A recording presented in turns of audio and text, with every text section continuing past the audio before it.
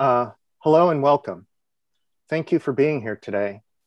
We are hosting a special Digital Futures World event titled New Media Architectures.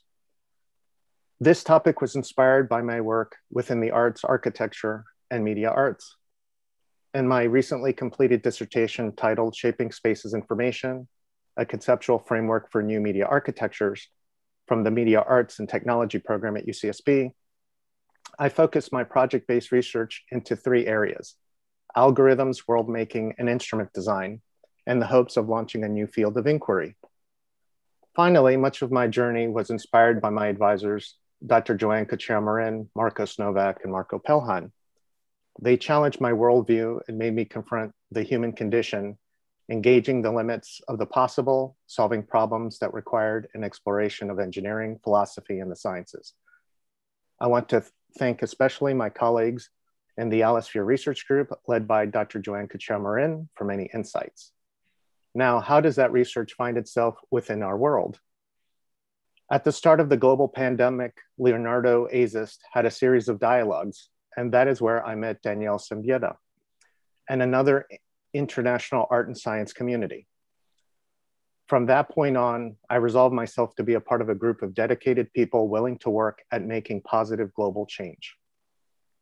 Last summer, after reaching out during an epic set of talks at the Digital Futures World Conference, um, with an email along with a set of questions from YouTube, I felt as though I found new hope. I want to thank Neil Leach and the Digital Futures World family for giving me the opportunity to be here today. Uh, let's begin. Before we start, our presenters are as follows. Uh, Danielle Siembieda, Haru Ji. Graham Wakefield, Aline Legarnisson, sorry about that, Şölen Geralti, Hannah Wolfe, and Weidi Zhang. Our co-moderators would be Danielle, myself, and Dr. Xiaojin Wei. I will make formal introductions before each presentation. Danielle Siembieda, Dr. Haru Ji, and Dr. Graham Wakefield. Eileen, Şölen and Hannah, Weidi, Xiaojin Wei. New media architectures are the flow, shapes, and spaces as information that redefine our world. Uh, NMA spaces can be qualified for a formalization of space and time while also quantified by computational models that attempt to synthetically mimic complex system behaviors uh, and man-made and natural uh, man-made and or natural spaces. This panel explores the conceptual implications of a new vision for change in contemporary research practice combining arts and sciences. What new agent-based behaviors, shape grammars, and paradigm of experiences can be discovered? What new collab collaborative forms of art, theory, and sciences can be speculated while challenging canonical definitions of the, of the digital and the computational sciences, including artificial intelligence and quantum computation? This panel brings leaders of media arts and computational science researchers together to discuss the state of the arts, humanities, and the sciences.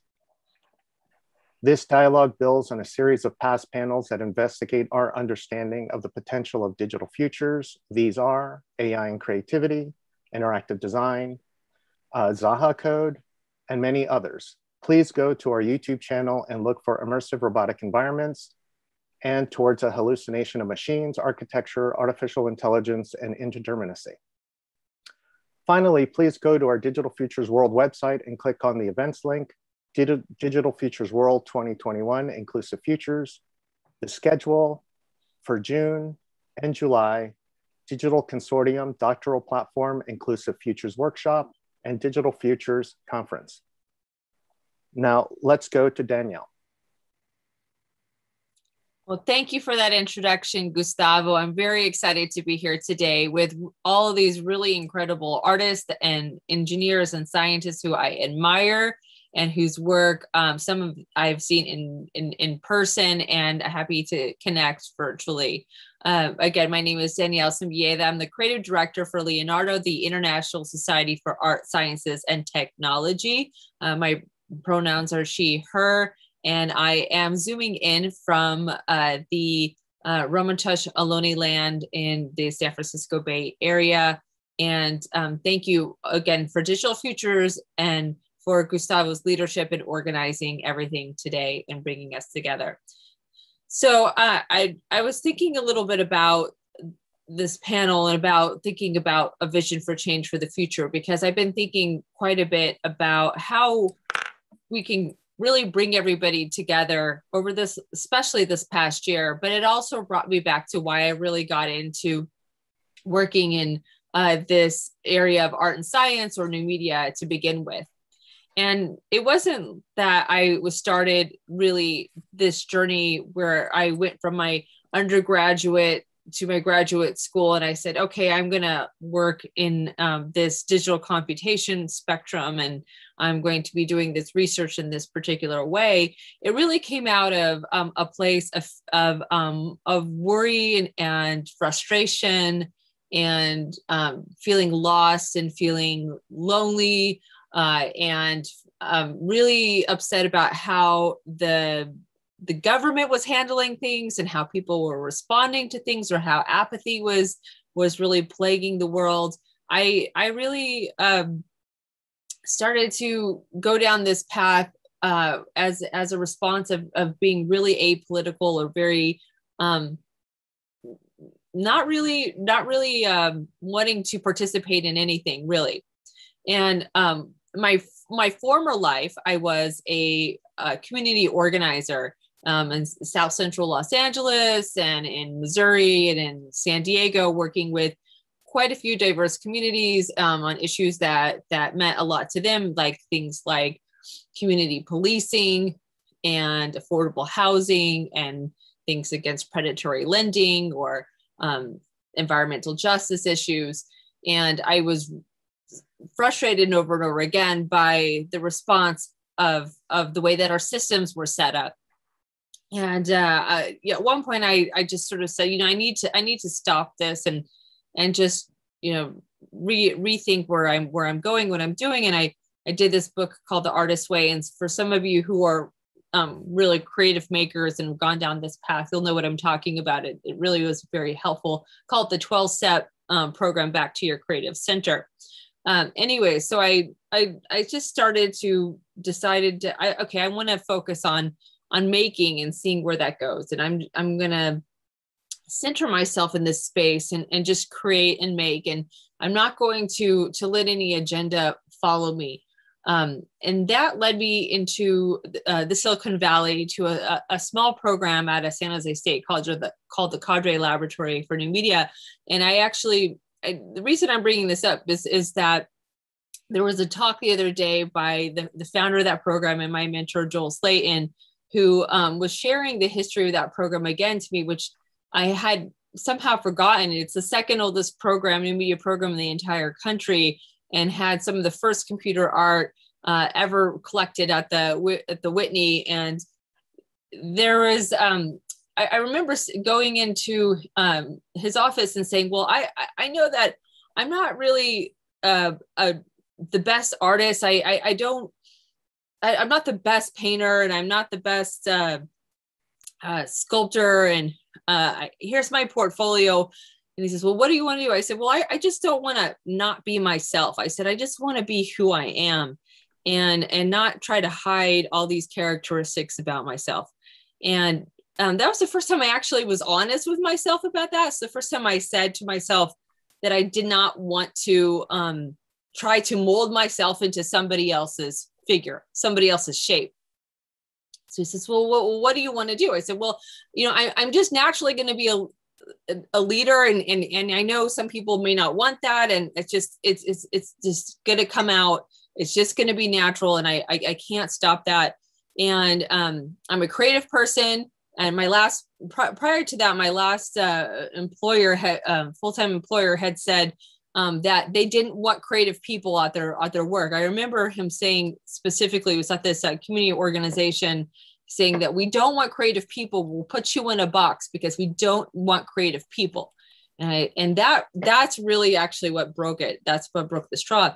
And um, I said, you know, I am a creative person and I can't be put into a box. There's those are two things I just cannot do.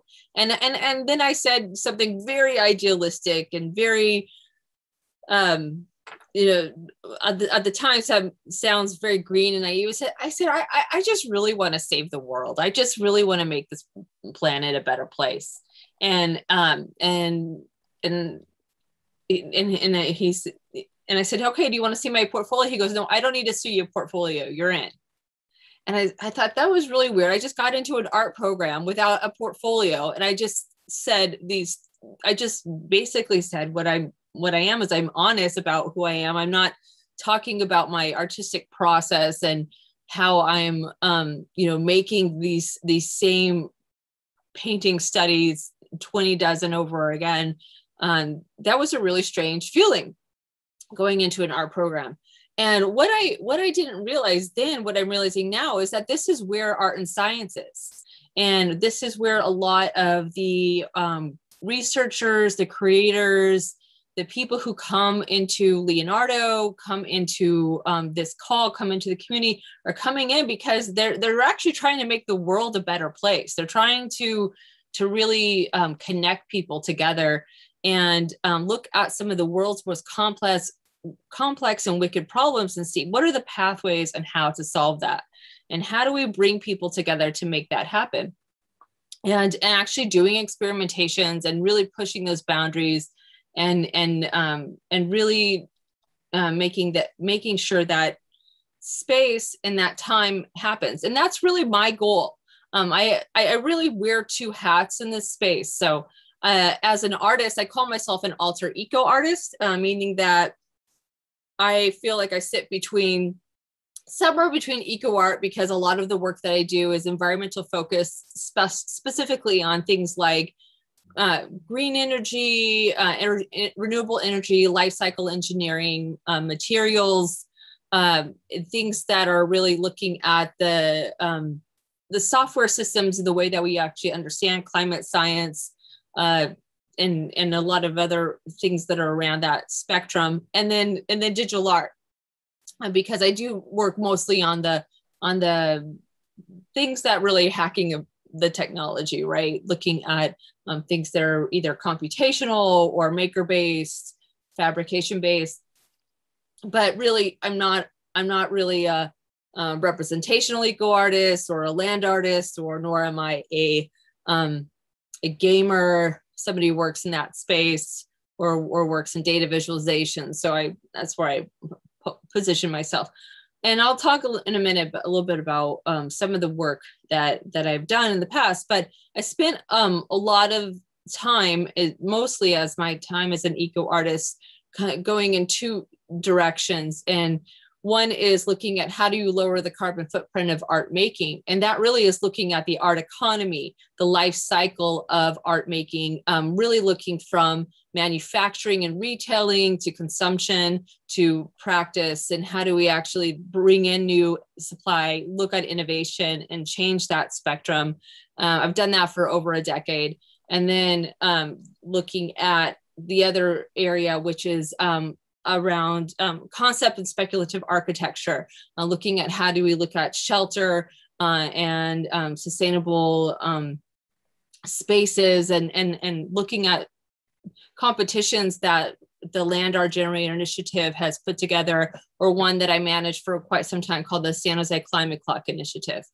Um, and then with Leonardo, on the other hand, this is really our, our, our, main intention as an organization is to look at those the, those complex issues that are happening around the world and think and look at us as a think tank uh, how we can apply creativity to actually through art science and technology to address those systems to make a better future for all and that's a really important um, space in in in that in that uh, area and I want to really emphasize that creating a better future for all is um, really critical and, and very important to where we are as an organization and how we want to bring everyone together.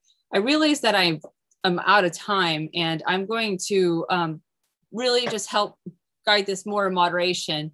Uh, but I'm, I'm really excited to hear everyone who is on this call share their brilliance, their ideas, and how we can connect together and work together um, to to really achieve the mission and and and the heart that comes from you and from everyone out there in the audience who's who's viewing this today. So thank you. Uh, thank thank you, Danielle. Uh, and now uh, the next presenters are uh, um, Haru and um, Graham. So let me let me when they while get the, while they set up, let me actually make the transition. Uh, Dr. Haru Ji is a media artist and co-creator of a research uh, project, Artificial Natures, exploring artificial life world making. She holds a PhD in the media arts and technology from UCSB and is an assistant professor at uh, DPXA and the Digital Futures programs at OCAD University at Toronto, Canada.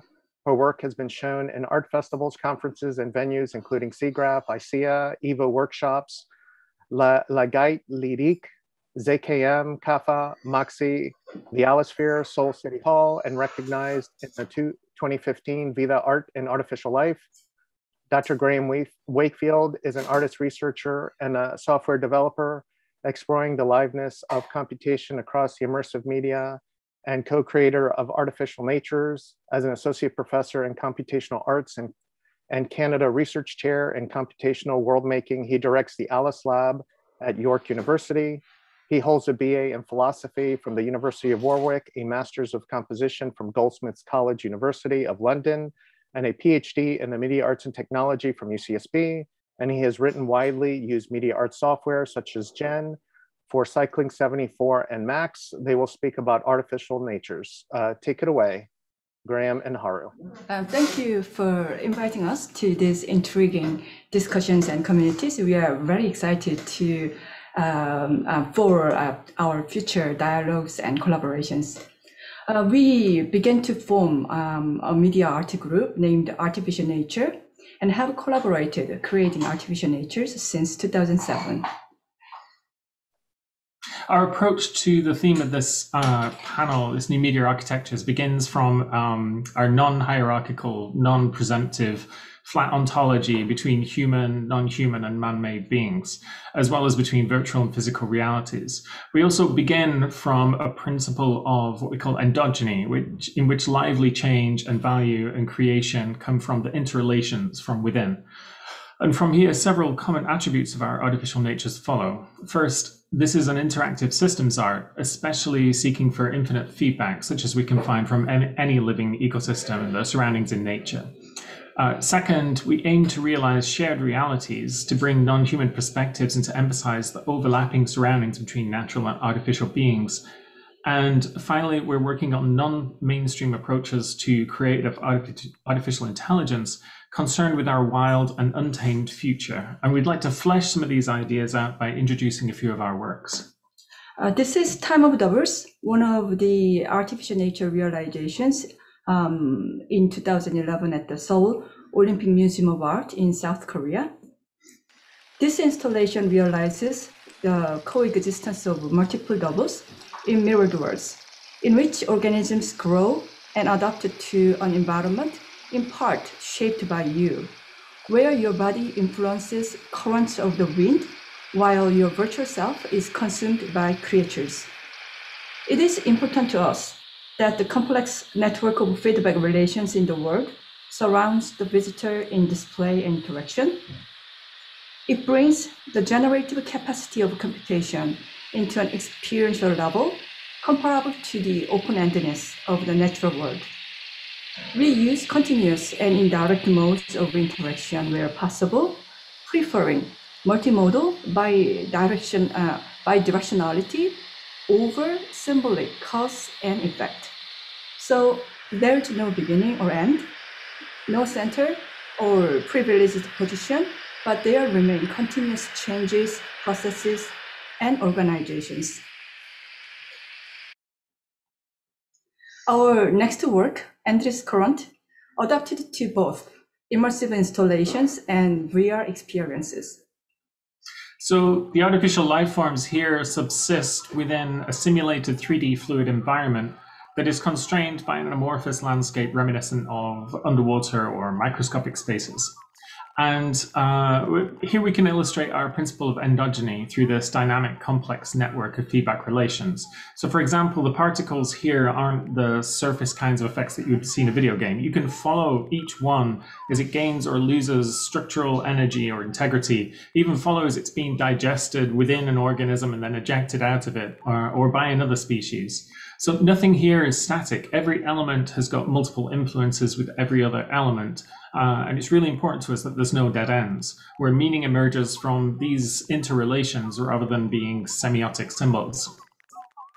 Our next work is Archipelago. Here we focus on the use of mixed reality as a method of shared, playful, and open-ended complexity in hybrid space between human and non-human beings. So its bestiary contains this pulsating lichen that sustains several species of moving organisms, displaying foraging, scavenging, predatory, and social behaviors like swarming, nesting, and pheromone trail marking. And as visitors reach down and touch the land, they can discover these alien creatures creeping onto their hands. And, and then they'll be able to lift these creatures up and carefully transport them to deposit into other regions or new islands that they've made, uh, or to the destruction. Your shadow destroys, the vegetation underneath. You became a force of death, but also rebirth. The desolation is followed by greater fertility. But you are not a mighty god here. Um, interaction is nuanced in response, but your influence is limited. Archipelago evolved to Inhabitat in 2017 at the Children's Science Museum and was visited by 65,000 visitors over five months.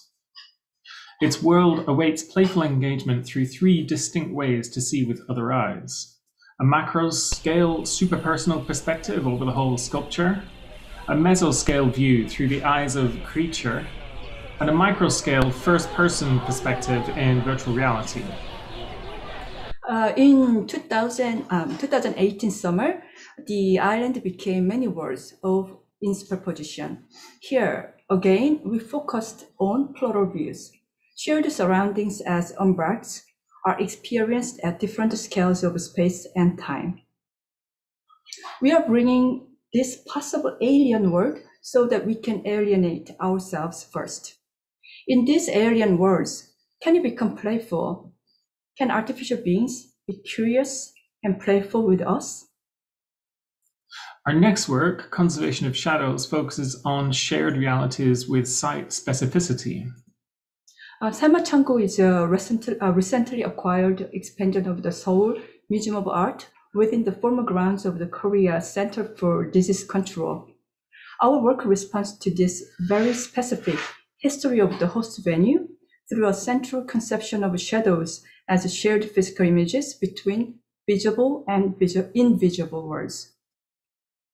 A softly ringing motor actuated miniature bells surround the, uh, surround the installation space, hanging down from the rafters at different locations and heights, varying in intensity and creating a variegated spatial sonic experience whenever invisible beings pass by. The shadows of these invisible beings mix with our own shadows on the silt bed underfoot. By donning a head-mounted display, visitors take on an alternative perspective to witness a world coexisting in superposition. And what first appeared as flat shadows on the salt are unveiled to be alien creatures moving around and through our now shadowy bodies and responding to our movements and gestures. And um, you can also sense the shadow volumes of other people as they visit the space too. It's a little bit like the feeling of knowing someone's with you in a in a, in a dark room. Oops. Finally, our most recent work, InfraNet, brought new materials to our praxis.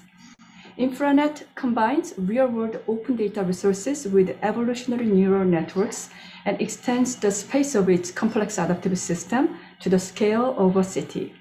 This work starts with the question, do we know what intelligence is? And if we don't know, how can we approach it? Our hypothesis to this was that intelligence is a phenomenon of cognition in general as an embedded condition for all living systems. Each exhibit of InfraNet utilizes public data available on the host city, including Gwangju, South Korea, Vancouver, Canada, and New York, USA. None of the source data is itself directly displayed, uh, and it's not being used to answer a question or, or answer a question. Um, rather, within this landscape of city data, thousands of artificial creatures are born, dwell, and die. And what we see are the traces and the trails that these creatures leave in space as they draw out their particular umwelts each one has an antenna to read and metabolize the underlying data, but these sensors are limited. They cannot read all channels, but rather have a personal taste or bias that filters most of the data out, as if for any particular creature, the majority of the data just doesn't exist. Each creature also has a unique neural network that is dynamic in both weights and architecture. They're excitable, they're sociable, they're curious. The creatures change their neural architectures every few chirps by mimicking those of their near neighbors. This is like the continuous genetic exchange of a bacterial quasi-species, or the contagious transfer of ideas. And as the creatures move, their society forms a much larger second order neural network of ever shifting structure, where ideas can move in patterned waves through the whole. The color of trails and folks left behind represent their current taste, revealing the kinships. Thinner trails are more deeply ingrained than softer folks, a kind of long-term memory that gradually desaturates and then evaporates, revealing how creatures have discovered the city. This is not evolution under some intense selective pressure because we're not solving a pre-given problem and because pressure can choke creativity. Their only condition of survival is a measure of well being as expressed by two intrinsic motivations to find data and to find trails. That is, a primal need to verify that the world exists and to, the, to know that one is not alone in it. Rather, there's a drive towards diversity. Creatures with lower well being are more likely to mimic the neural networks of their neighbors, especially if their neighbor's taste is different.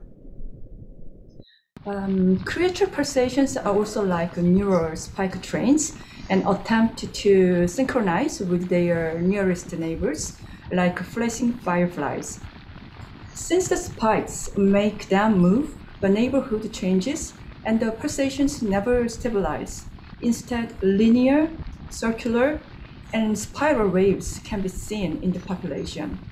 Uh, more recently, we found that there's a remarkable synergy between this kind of system and some models of non-conscious cognition in biological brains. Um, here is a secondary visualization of watchers. Each watcher follows a creature as it moves through the data, displaying data about the creature's current state and dissimilarity to their neighbors.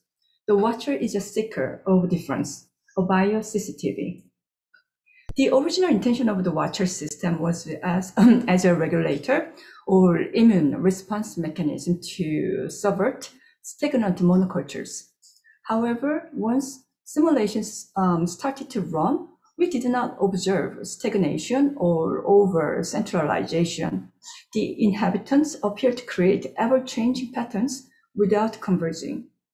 Um, this is an example of working with machines for collective creativity beyond our expectations, of revealing what we didn't know, we think.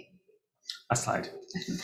Um, AI and new media are smearing to all aspects of life, into what Katherine Hayles has described as planetary cognitive ecology. And we're cautious about static performance measures and assumptions, such as used by uh, supervised AIs, that can only predict what is already known.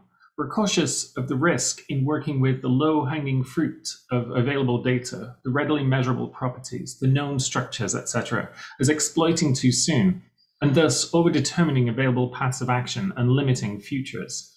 We don't want to live in a future that's already paid by the past. Instead, we see creativity as oriented to an open future, producing new qualities through intrinsic motivations while enlightening the unknown. Um, again, thinking of planetary cognitive ecology, this points away from optimization toward anti-fragility. Almost all the Earth's biomass is now in service to humans. We have reduced the wild unknown to pockets and islands. Um, directly or uh, indirectly, we displace anything we can't measure or make use of, even without knowing what it might be. Despite the fact that optimization leads to vulnerability, we hope that a better understanding of creativity and complex variety beyond the human-centric may point again to qualities of the wild. Perhaps living with the artificial natures can bring us to the wild too. Thanks. Thank you. Uh, uh, thank you, uh, uh Dr. G and Dr. Wakefield. I, every time I see you guys, I'm completely awestruck. Um, I can't really say how much I have learned from you guys. So thank you for, for being here. Uh, our next speaker is um, Elyne Lar- uh, Larganissen. So sorry, you can say it again. Yeah, from the Interactive Architecture. Okay, good. Okay, so let me let me read your bio while you get set up. Okay, uh, as a designer and experiential artist, Elyne strives to create experiences sparking curiosity, exploration, and movement. Her work sits at the intersection between humans and environments, physical and digital, sensuality and systems. She creates VR, AR, XR experiences, installation art, as well as interior designs. Her latest piece, Unbalanced, was exhibited and published throughout Europe and awarded the the 2020 Lumens XR Award. Coming from the island of La Reunion, she mm-hmm. has seven years of experience in spatial and interaction uh, design, intertwined with eight years of design studies. These were concluded by an MArch at the Interaction Architectures Lab, designed for performance and interaction from the Bartlett UCL London. Uh, take it away. Thank you for the introduction and thank you very much for having me here. Uh, I'm really excited um, to be uh, sharing this conference with all of you guys. Um, so let me uh, just put this on. Let me just share my screen. There we go. So um, I am here to tell you about body movement and awareness in immersive experiences and I'm going to do so through um, presenting you my work Unbalance and the process that led me to it. So um, one quote um, that really inspired my work is uh, one by Eccleston, which reads, bodily sensations greatly contribute to our minds being embodied and embedded in the world. It is how we experience our bodies and how our bodies experience the world. So being aware about this um, and knowing that uh, it is, um, we are more and more aware uh, today in our Western world of the importance of body awareness and body movement for our physical and mental health.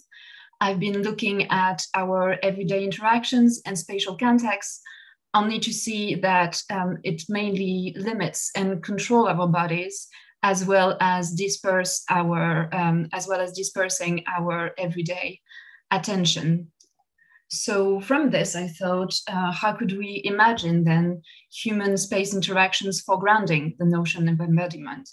And also, how could we imagine human space interactions training curiosity, exploration, and awareness rather than efficiency? Through uh, my research, um, I stumbled upon the somaesthetics theory, uh, which became a big part of my work. This theory highlights the uh, links between ampl amplifying sensory perception, learning, body awareness, and moving in unusual ways. So from there, I thought, okay, so then how can we create experiences which, and can we uh, create experiences which would push people to move in unusual ways through amplifying sensory perception? Um, there is a video there coming. Yeah. Um, so my first, um, my very initial explorations were um, looking at shifting body perception uh, through adding weights on different parts of the body, as well as shifting body perception through um, virtual avatar, uh, which was um, distorting my own body. Um, and finally, looking at shifting world perception through illusions of verticality in VR and XR.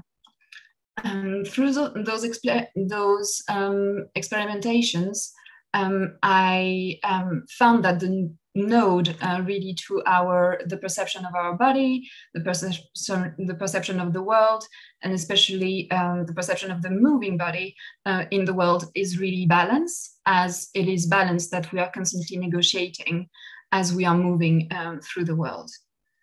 Um, so I decided um, to play on this notion and see what would happen. My first prototype uh, was looking at shifting the perception of the world in XR.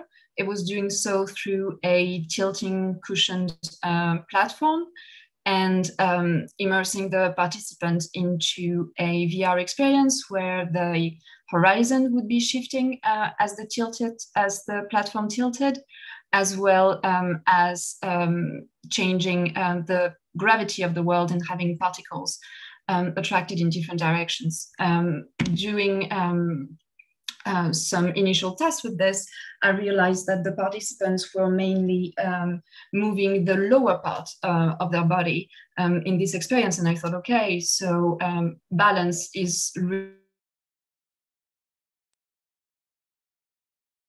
really more about the axis between the head and the part of the body. Um, this is how um, I started looking at uh, sensory augmentation apparels, um, placing different tubes on different locations of the body, which were filled with um, very heavy beads. So it's lead beads, the same material that you'd use to go um, deep diving. Um, I worked with the dancer Tia Hockey, um, to see how um, the different locations of the body, the different materials of the tubes, and were creating different um, more or less linear responses to her movements and how this was triggering, um, encouraging um, different forms uh, of movement, different speeds and different forces. Um, this worked really well on her, um, but uh, trying it out on just uh, our regular audience and everyday people, I realized that people were getting a bit of a stage fright um, and moving a lot less than in my initial prototype. Um, so this is how um, I um, ended up with uh, my prototype three, uh, which was shifting perception of the body and the world through physical and virtual sensory augmentation. So this combines one uh, of the apparels we just discussed um, with the tilting platform as well uh, as a VR experience where the body is emitting particles, which are getting attracted um, in different directions depending on the uh, movements of the upper body, so the head to hips axis, as well as the tilts of the platform. Um, this was exhibited at um, Ars Electronica, um, and uh, I got uh, loads of people to play with it, and uh, it really got me to understand that um, well, um, this really seemed to work as every kind of people really naturally uh, started getting very uh, curious and really started to explore movement and completely forget about um, anyone um, around them and just started to move in very unusual ways, uh, which was um, what I set up to create. Um, so it is this the prototype um, that I um, developed in Unbalance, uh, which uh, you can see a bit um, of the uh, teaser there. So Unbalance is a 10 minutes solo experience where players are invited to play on the edge of stability. VR technology is combined to two analog tools, a wearable and a tilting platform. They merge into visual, touch, and sound stimuli, augmenting the player's perception of her body and environment. So I'm going to look just a little bit uh, into more detail um, into um, the um, development of the um, elements of this experience. Um, so first, we have the platform where um, I found that adding auditory uh, feedback there uh, was really useful too. Um, um, so uh, I added those um, lead beads tubes. And then we have the apparel, which uses neoprene so that it can really um, allow um, the participant to move while holding the weight of the beads. Um, it is it combines different materials of tubes so that we uh, combine um, different more or less uh, linear uh, responses to the participant movement. And then finally, uh, we have, I'm not what happened there, sorry. We go back. Oh, oh no, no, no, no. Um, yay.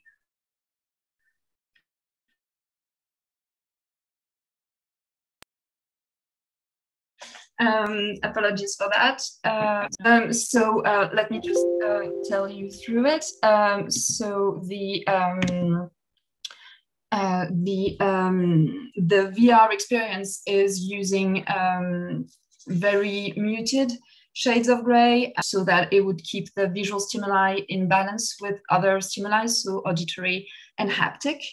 Um, and finally, uh, the uh, experience evolves uh, through time, getting the player's awareness to flow between her body and um, the environment.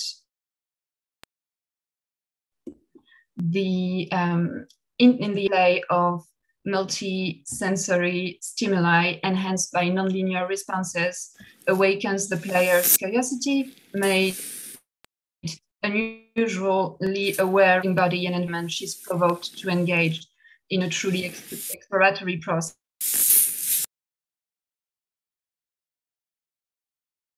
through movement, uh, which I am um, currently um, developing into a collective um, experience, so a multi-sensory playground, looking at how um, I could uh, use, um, so not using VR, but still um, using a form of XR where there are screens and beads, um, visible beads uh, within those uh, platforms, and how this uh, uh, how I could get people to move together and be aware of their bodies and environments together uh, rather than a solo experience.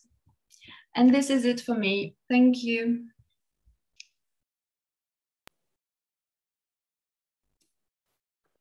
Uh, thank you very much, uh, Elyne, for your presentation. Um, I have to say, I met you uh, on a project with uh, Lumens and Leonardo uh, making mm-hmm. um, an exhibition. And I remember the first time I met you, I think on Zoom, I was like, whoa. Um, but uh, your work is inspirational. And I really, I really appreciate your attention to detail. And you have fans and the Digital Futures family. So I'm sure they'll reveal themselves soon. But thank you, thank you very much for coming. Um, That's great. Yeah, thank you for having me. Really. Yes, thank you.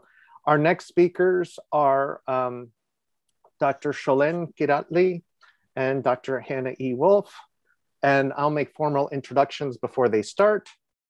Uh, uh, Dr. Şölen Kiratli is an artist, architect, researcher, and lecturer. Her work is interdisciplinary and deals with issues of agency and digital technology, including machinic, organic, and hybrid agents. In her artwork, she uses a variety of media, including sound and digital audio, interactive and physical computing, machine learning and robotics, and digital design and fabrication. Her work has been exhibited at many international venues such as SIGGRAPH, SIGGRAPH Asia, ISEA, Currents, New Media, Contemporary Istanbul, and NIME. She is a recipient of several awards from renowned institutions, including SIGGRAPH, Best of Show 2020, and Fundación Telefónica, VIDA 13, Artistic Production Incentives.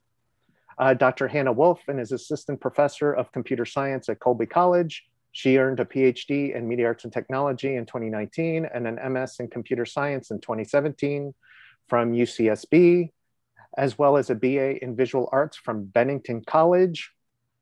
Uh, her work has been shown at ISEA, NIME, and CHI. Her artwork focuses on the relationship between body uh, and technology, giving computers and robotics uh, biological qualities. They will be discussing a cacophonic choir, and I am glad to know my colleagues and take it away. Hi, thank you, Gustavo, for that introduction. Um, today, uh, Şölen and I will be talking about Cacophonic Choir.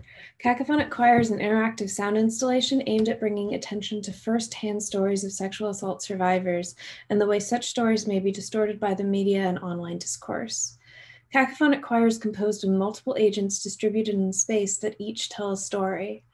From afar, their utterances are heard as an incoherent cloud of murmurs, and as the visual appro- visitor approaches an agent, it responds by becoming more visually bright, semantically coherent, and sonically clear, thereby revealing the original anonymous testimony of a sexual assault survivor.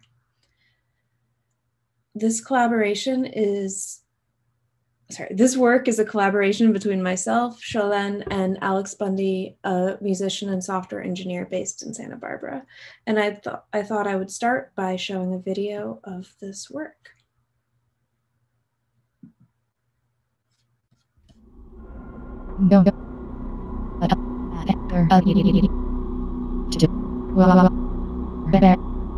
Crazy time.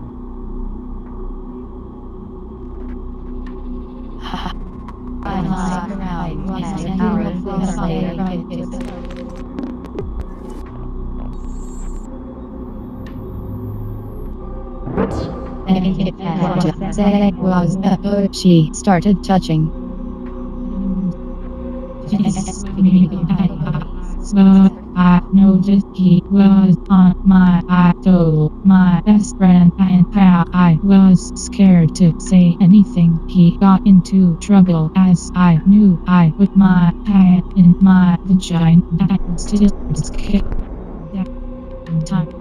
Friend, and then she started telling me things neighborhood is the one who was at then there wasn't the supposes against women who report sexual attack he said that then there wasn't the uh-huh. support. Don't say struggle express way but even today with the courage to speak so angry the surviving rapist lives in my neighborhood is the one who forced me to decided to hire his friend. He seemed like a cool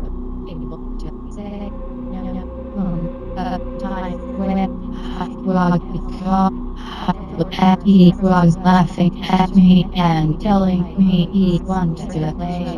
He told me to get out of the car number. Started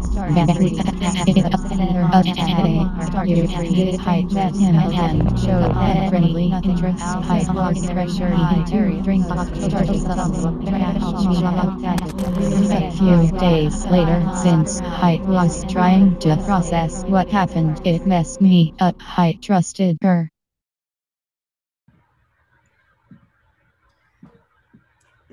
So I will take from here. Um, hi, my name is Şölen Kiratli. Thanks all so much for being here.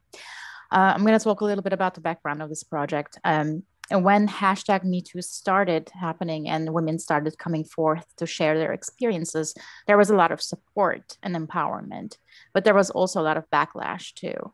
Um, so, so, many voices, um, negative and positive, supportive and hostile. Um, and as researchers, we were already dealing with uh, sonic interaction design, um, and we wanted to do something about this, these voices. Um, and as survivors of sexual assaults ourselves, we both felt empowered, but at the same time overwhelmed in this climate. Um, empowerment for the people who come forth is good, death threats and hate emails, not so good. Um, it is very painful to come forth and talk about your trauma, as many sexual assault survivors would know, um, you face disbelief or straight up hostility. And there's a there's quite a bit of research about this as well. For example, um, a study in 2018 uh, found that between Twitter users who engage in victim blaming and those who support sexual assault survivors, those who blame victims get retweeted more. Uh, so social social media can be toxic. Um, so we wanted to reflect this situation, this double-edged sword, if you will. Um, social technologies are great, but they can also be toxic. Coming forth is great, but then it comes with its price. Uh, rape is a systematic problem, but it happens to individuals, and each story is important. Uh, so our goals were to, uh, to, give agency to the voices of those who survived sexual assault um, and to critique online and mass media as a social platform. Uh, so we wanted to present stories of sexual violence, both as individual stories and as a larger societal problem, expressing how media discourse affects sexual assault survivors, both empowering and overwhelming them. Um, how should these agents express these voices? Uh, the problem here we thought is that there's a gap between the original story as told by the survivor and the way it is distorted, twisted, and turned um, in various media outlets. Um, distortion itself is also mediated by the same technologies that empower people. Uh, misinformation and hateful remarks are easily amplified and spread, as we all know. So, going back to the gap between the original story as told by the survivor and the way it's distorted, we decided to somehow reflect this gap as an actual physical distance in space that impacts people's narratives. In other words, what if we use a physical distance between the agent and the viewer, that is, the narrator and the listener, um, as a metaphor for the distance or accuracy between the original story and its coverage? And here, go back to Hannah. So for this piece, we developed software that modulates the linguistic and auditory coherence of these narratives based on the proximity of the observer and narrator, as Şölen just described. In other words, the arrangement of words become less meaningful at a distance and more coherent when approached. Sonically, we do this in two different ways. The first is text generation. To do this, we trained a neural network to generate emotionally charged text from firsthand occults accounts of sexual assault survivors at different linguistic levels of clarity. And we did this by training it for different lengths of time to represent more clear text. The second form is sound processing, which was a granular processing of the audio, rendering the speech from stuttery to clear, making the agent sound more hesitant and uh, nervous at a further distance. And then last, we modulated the light source based on the participant's distance, rendering the form within it visible due to the translucent membrane. So to express how the stories of sexual assault are filtered through the news media, as we said before, the story each agent tells is controlled by the distance of visitors from the agent. When a participant is more than two meters away, the agent randomly chooses words from a testimonial of a sexual assault survivor, which is assigned to it. As the participant approaches, the words become less coherent, less random, and more coherent. To generate text, a long short term memory LSTM recurrent neural network model was pre trained on over 500 stories of experiences of sexual assault from the When You're Ready project website. For the final installation, we pre-generated text for 65 of the testimonials at each level of semantic clarity using models trained for longer periods of time to represent closer distances with a greater number of words from the original text as a seed. Once the visitor is less than half a meter away in the agent's personal space, the agent tells its original testimonial. And to Şölen.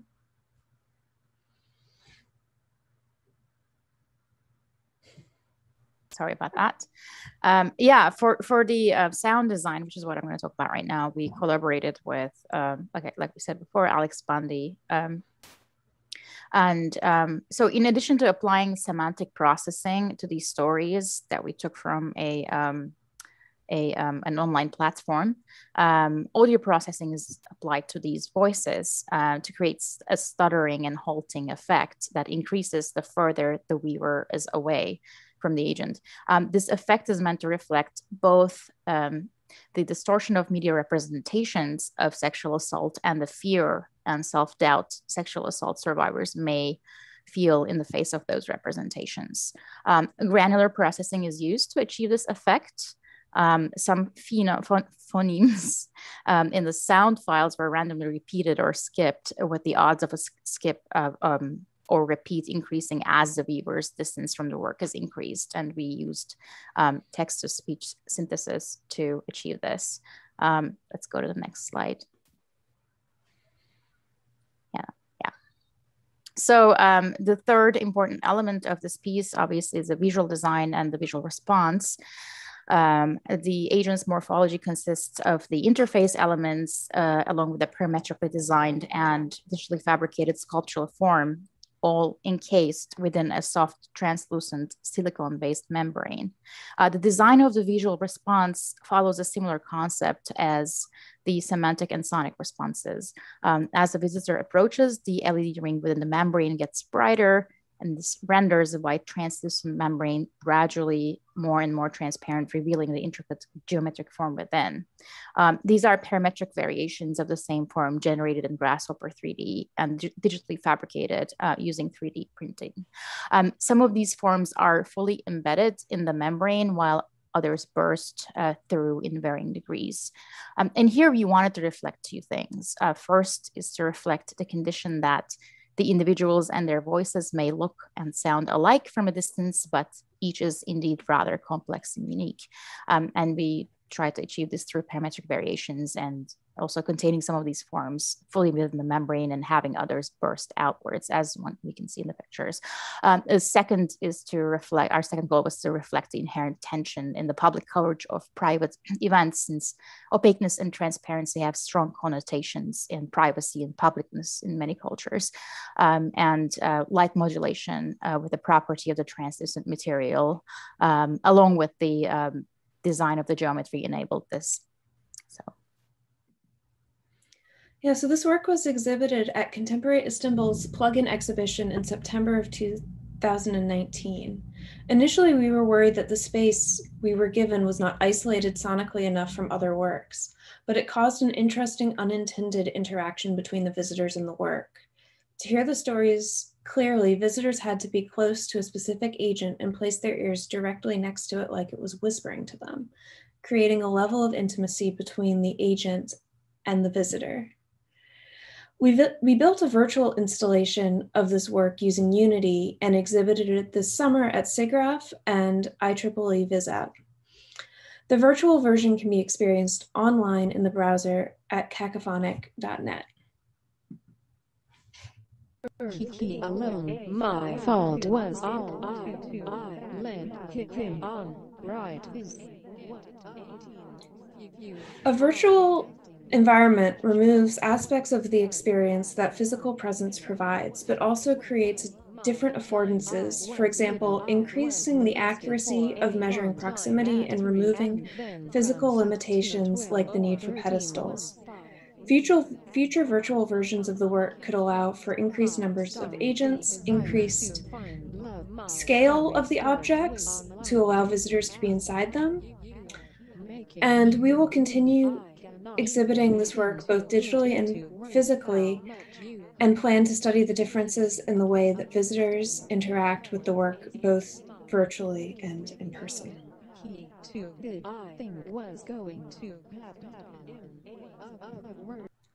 So then I thought we'd talk just for a second, uh, both Şölen and I, a little bit about our own work um, or our separate work.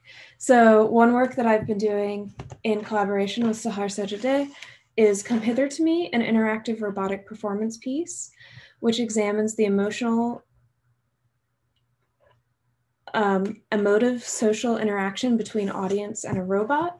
Our interactive intelligent robot attempts to communicate and flirt with audience members in the gallery space while inverting gender roles and stereotypical expectations in flirtatious interactions, it explores the objectification of women and the gamification of, of seduction. Um, and then another work that I've done is uh, touching affectivity, an art installation using a small furry creature which sonifies the way it's touched. This creature experiences its world through conductive fur a sensor which can detect different types of touch like scratching, petting, and tickling. Aspects of the conductive fur signal like frequency, intensity, and signal variance affect the speed, volume, filters, and timbre of the synthesized sound. And it also responds haptically through vibration. So here's a, oh, here's a short video.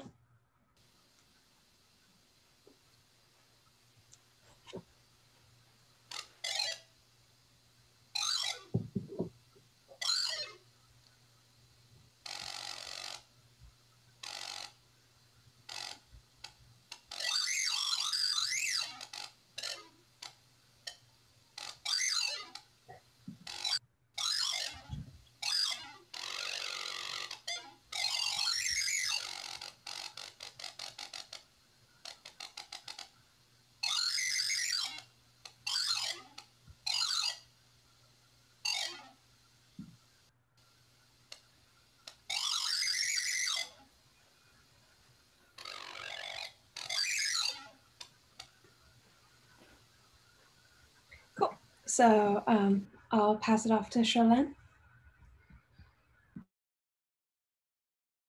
Sorry about that. Here I am back again. Uh, my work deals with issues of agency and digital technology, dealing with both machinic and organic agents. Um, I have to say that I'm trained both in architecture and media arts. Uh, that is, I think, really reflected in my work. Uh, so, due to my training in architecture, I'm concerned with space and materiality and how spaces and objects may relate to one's body, and due to my training in media arts, I'm concerned with technology agency and agents. An agency is, uh, uh, of course, capacity to act, and agents are spaces and things uh, with that capacity. Uh, so, in the case of my work, this capacity is manifested primarily uh, via the so sound medium. Uh, so the pri two primary elements in my work are sound voices, um, that is the ways in which various technologies may help or hinder the agency to those in stress, amplifying it, mediating their voices and utterances. And the second primary element is material, materiality and architectures. And with that, I focus on physical and material mean uh, ways in which such agents may be embodied use, using digital design and fabrication. So the work I uh, chose to present here, since we have very limited amount of time, is um, titled Hive. Uh, it's a result of a collaboration with Akshay Kadambi and Retouch Lab. Um, it's an interactive installation um, exploring the notion of sentience and agency in the sonic medium. Uh, we conceived of Hive as a speculative organism that belongs to a family of organisms whose subjective worlds, Umwelt, uh, consist only of sound signals. Um, in other words, their only mode of sensing and responding to their environments um, is through sound. Um, by restricting this speculative creature's perception and action mechanisms to a mere sonic modality, we aimed at emphasizing the importance of sonic communication for the survival of many species and how soundscape as a finite resource is neglected by humans and consumed and contaminated as a result of our activities. Um, so yeah, I think that's all for now for me. Thank you so much for listening to us. Thank you. Uh, uh, thank you, you guys. Uh, thank you, Şölen, uh, Dr. Giraldi, and Dr. Wolfe. Uh, I have to say that uh, over the years, you both have inspired me in my journey, but I also wanted to be very clear um, the work that you presented is very profound right now at this time. And I am a supporter of the work. And I hope that uh, we can add more light to our social problems and hopefully be agents of change. And I would love to speak with you more at the Q&A about that. But thank you very much. Uh, now to our next presenter, um, Weidi Zhang. And before she, while she gets start, uh, set up, I will do a formal introduction. So um, Weidi Zhang is an LA-based new media artist, visual designer, and researcher. Her current research in media arts practices investigate the possibilities of semantic meanings and non-linear narrativity of assemblage art in the context of intelligent systems design and interactive generative art. Her works are featured at different venues internationally, such as SIGGRAPH, ISEA, Times Art Museum, Swissnex Gallery, her artwork is juried, uh, selected uh, in Japan Media Art Festivals and honorable mentions in Lumens Prize. Currently, she is a PhD candidate at the Media Arts and Technology program and a researcher in Experimental Visualization Lab at the University of California, Santa Barbara. She holds an MFA degree from Art and Technology at the California Institute of the Arts, and that is my alma mater as well. So, Weidi, you're one of my favorites. Take it away. Okay, so I'm gonna share my uh, screen.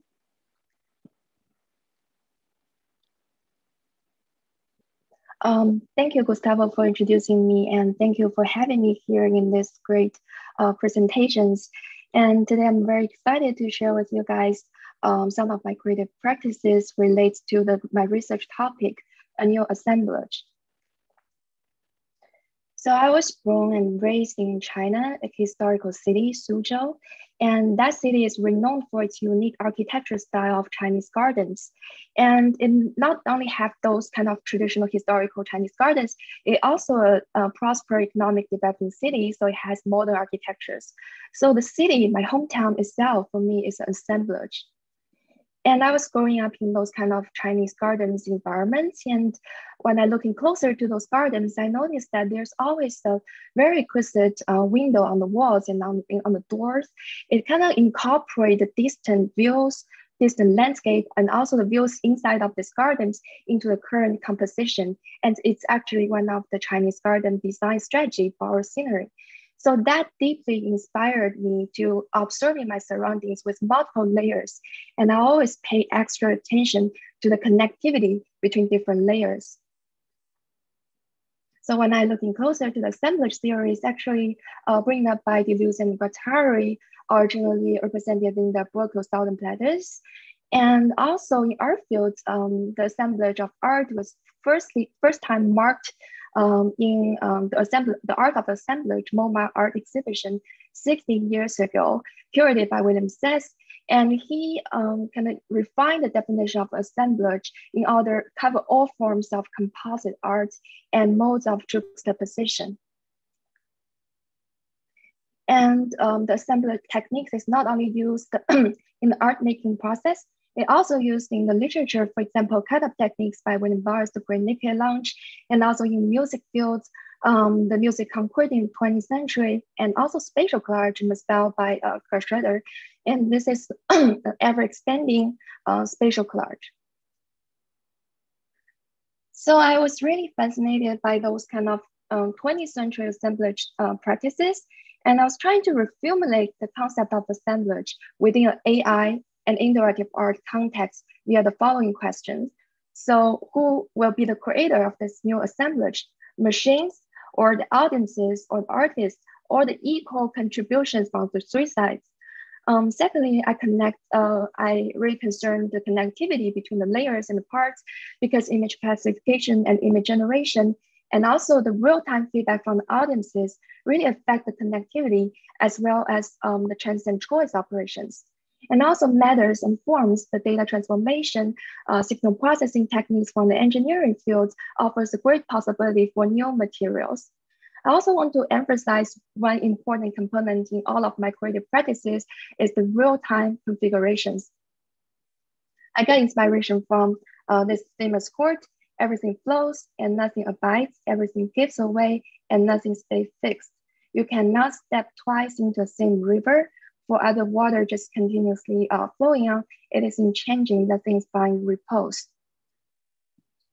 So um, in the past few years, I was doing a practice-based um, research on this topic, and I created several virtual reality experiences. For example, uh, this one using found materials from 1980s Chinese posters, and to reconstruct the space by using those found materials. And this is some virtual reality art installation was exhibited in Times Square Museum in Beijing.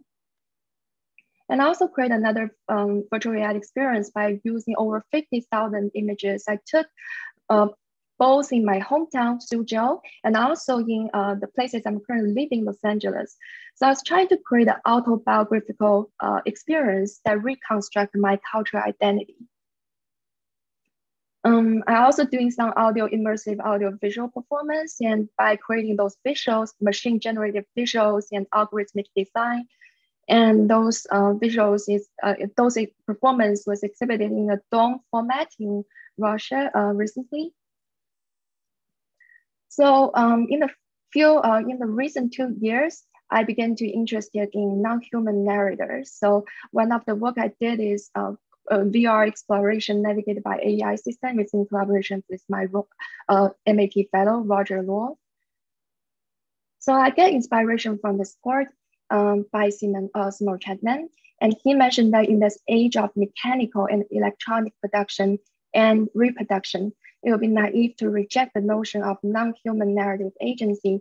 For instance, a story constructed through algorithmic process or as a result of multiple voices constructing together in real time.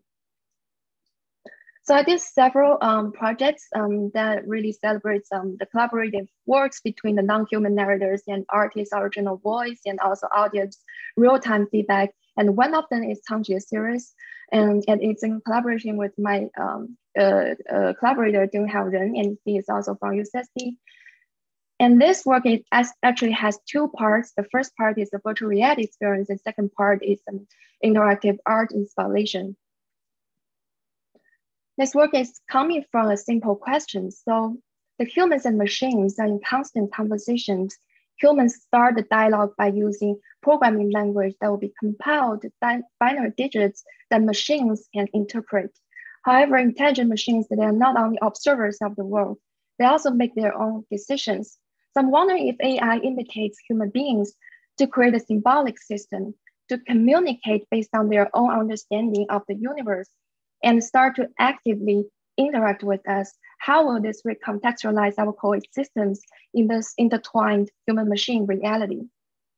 My inspiration is from um, uh, his uh, Asian Chinese legendary historian. He has been widely considered as the person who invented Chinese characters based on the characteristics of everything on the earth.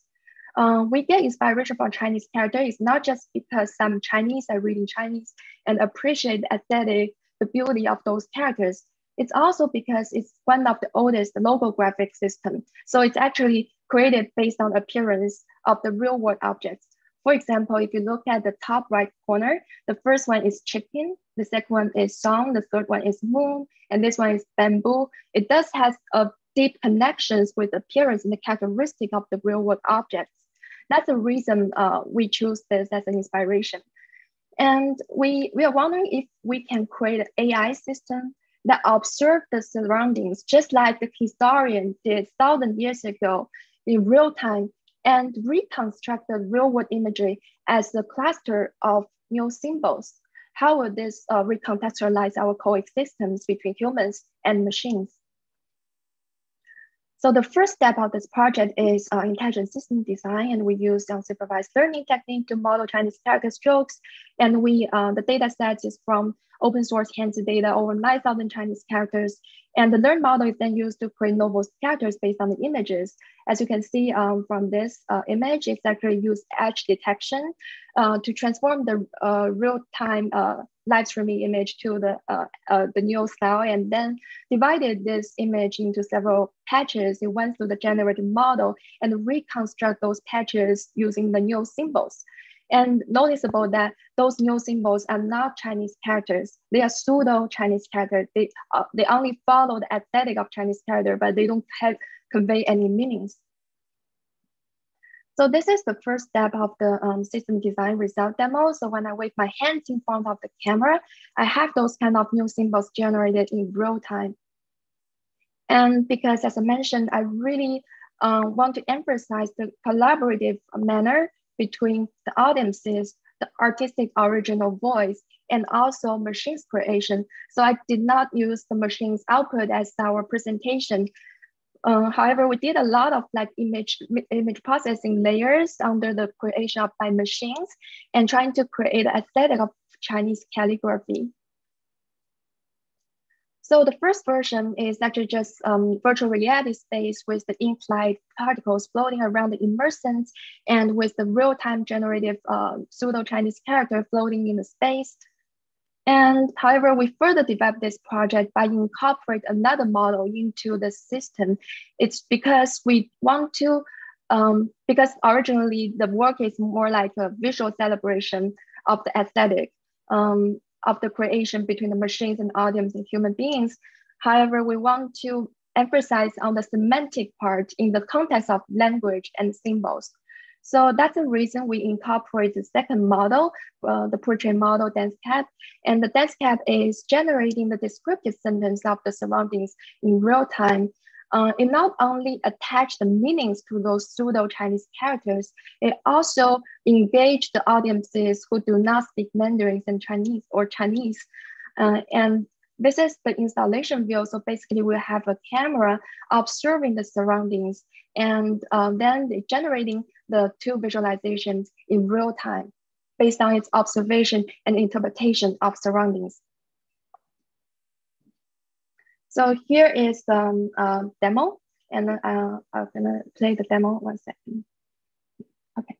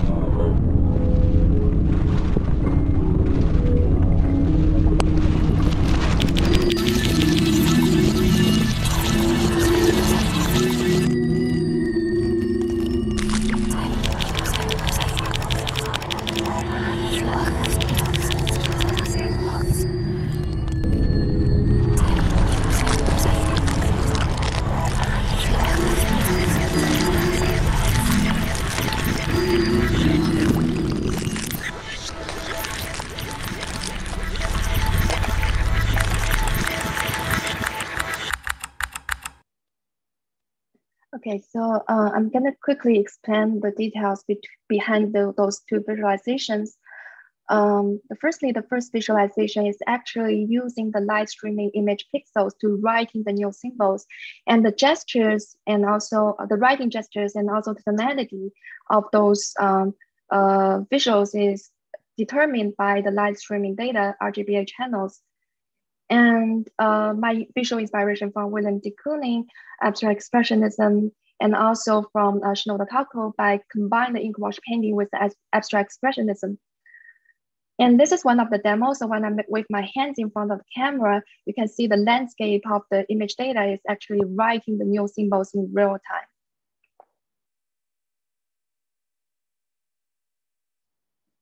And the second visualization is created by the pre-trained model, DenseCap. And um, it's actually inspired by the 20th century concrete poetry by arranging the text typographically to convey meanings. And it's also com uh, combined with the pictorial fragments. The composition is ever changing based on the RGBA channels of the live streaming data because of the COVID-19 pandemic, makes the um, interactive installation really difficult because of the uh, social distance. Um, so we also create a special edition for this work.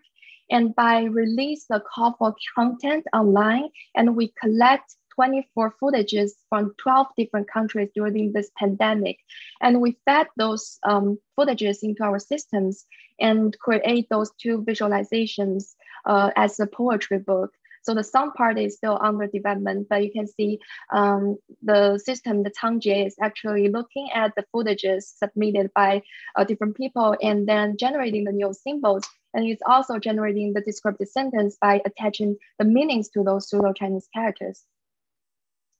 So that's it for my presentation. Thank you for listening. Uh, why, thank you very much, uh, Weidi. Um, inspirational work. Um, if I can ask all of the uh, presenters to uh, put on their cameras. But I just wanted to finish, Weidi. Thank you. I remember the first day we met, I was like, who are you? Hey, you went to Cal Arts? I did too. And that was that was it. I'm like, okay, she's cool. And um, I'm really happy. So thank you everyone for coming. I guess uh, part of the reason why I called you guys here is that you guys are have been important in my life, but I've actually seen you guys affect change in your communities as thought leaders, as artists, and as educators. So um, I wanted to actually have a discussion. So I want to open to the floor to um, any of you presenters to see if you wanted to ask each other questions before we go into something very deep. But uh, today's objective is to have a real dialogue, uh, and you guys presented very compelling work. So um, who wants to start? I think I'll ask a question. You know, first of all, everyone, this was this was really such an incredible um, morning for me. Uh, some of you also who are in, on the Pacific Standard Time, I know we have viewers from all over the world watching, but uh, this was really an important time for me to wake up with uh, in with moments of um, of learning and inspiration and um, questions and curiosity. And that's what all of you have brought out. And a lot of you are approaching things in really different ways, but with with uh, centered around inquiry. Um, everything has inquiry at the center, and I think that's really important. Um, I I want to um, ask um, uh, um, Graham uh, and Haru. Uh, I'm going to start with you since you had presented uh, relatively early on. You, you you said something that that I actually still think about um, uh, over this last hour, which was that we uh, do we know what intelligence is and i i, I, re- I really been thinking about that over the, um, the time that we've been together i don't know. And this idea of creating this um, way of using the, an ai system that actually just allows it to go in its own direction without really trying to prescribe it something or define it as something i think it's really important. And i want to just hear more about that and um, what um, you know do you see anything happening with that or or what what how should we be thinking about that further um, I, I can um, yeah I will begin to think yes um, I think we are in the interesting um, period that uh, we can make things while we don't know enough and then uh, also we are in the the period that um, that obvious things um, are becoming like not uh, not obvious anymore. So I would say like many things about what is life, what is intelligence, or like who are we, what is virtual, uh, like I mean the physical space or physical realities versus virtual realities. I think um, in those old questions, um, they were a lot um, easier to answer. Like if we kind of go go back to like a, a few hundred years ago. But um, it kind of when it comes to our time, because the reason I think it's because our perception gets um, um, like it, it, it expands, it gets uh, larger and deeper. So we know more basically in the micro level and macro level. And then, and then we found that mo- most of the distinctive uh, words and uh, the lines in between, there are a lot more things. So it's it's more it's, it becomes more difficult to define things, and then we could realize that uh, why like we know we get to know more, and why like we can make things more, but um kind of meanwhile we also get to know that um how much like we don't know. I think that's really important part about where we are ignoring because um I'm uh, I'm what I'm concerning is that um, we are not doing like because we get to know more and then we we uh, there are like some things we can do maybe as an individual as um as a collective uh, community but definitely we are not doing what we can do. Hmm. because the short span um, goals so we kind of make the framework. Like for it's as, I like this analogy uh, yeah, no, uh, uh, the, the story that um, it's from the Buddhism that where, where like when we need to see the moon, the people don't like to see the moon, but instead like they like to see the, the tip or just fingertips to point out the moon. And then I think we, I think that's the where we need to endeavor. And then I think there is a value that we have this discussion as a community that it's not the, the fingertip. We need to see the moon, like individually, collectively. so uh, yeah. yeah, Do you want to add something? No, I yeah, that, that that's exactly it. And as much as we we've learned how much we know, some sometimes that's that's that that's the risk of uh, feeling overconfident, right? Um, there, there was a presentation that, that we attended when we were grad students where uh, an engineering professor came and he says, guys, guys, don't do anything complicated. Don't do anything complicated. Just go for the low hanging fruit. That's all you need. And then, you know, you go for the low hanging fruit, you'll get, it'll be easy. It'll be easy. And, I, you know, something in me was just like turning inside of like, how, there's something really, really wrong with this. And it's, there's there's something that is happening to the world where every connection is being optimized. Every path is being made more efficient. And the the bulk of ai at the moment is pushing in that direction. It's like optimize optimize to solve this problem to solve this problem as if we know what we're really looking for as if we really know what is needed um, and that's that's what we were talking about when we were saying about being afraid of a, fu- a future that's no longer a future because it's already been paid by the past because it's already been assumed what the the answer should be. There was something that Elyne said that I thought was beautiful, where uh, just a turn of phrase of negotiating a balance, and that conversation, that that that level of communication is is something that's it's so difficult for us to articulate, so difficult to put into um, uh, symbolic terms because it doesn't have hard edges. It doesn't have it, it isn't containable. It isn't a quantity that we can easily measure and, and, and exchange. Um, but it's so important. It's like um, if if we're going to make a healthy environment, it should be a forest, not a plantation. Is another way of thinking of it, right? It's a plantation gives you a greater yield. It's more optimized, but there's so much work that has to be put in to maintain that plantation, and there's so little um, it only serves that one purpose. And you know, we don't want to live there. We want to live in the forest. Sorry. Okay. Uh, hopefully that kind of fleshes. I don't know if you wanted something more uh, technical or something, but uh, no, that's that was perfect. That was perfect. I mean, I I I, I expect no um uh, no straight answers here. you know, there this is this is you know the complexity of, of, of everyone's work is, is is extremely clear and and that you know this is really um, about where your research is in that exploration and how um, a lot of the we're always seeking answers immediately. And i don't think that's something that we can we can even um, grasp at that moment. I mean there's always this solution oriented um, um, yeah. we're always trying to innovate on a solution but, but it's not always right there at that moment. And a lot of times it, it really is about slowing that process down and it's about that inquiry and it's about um, letting that organicness go. And that is um,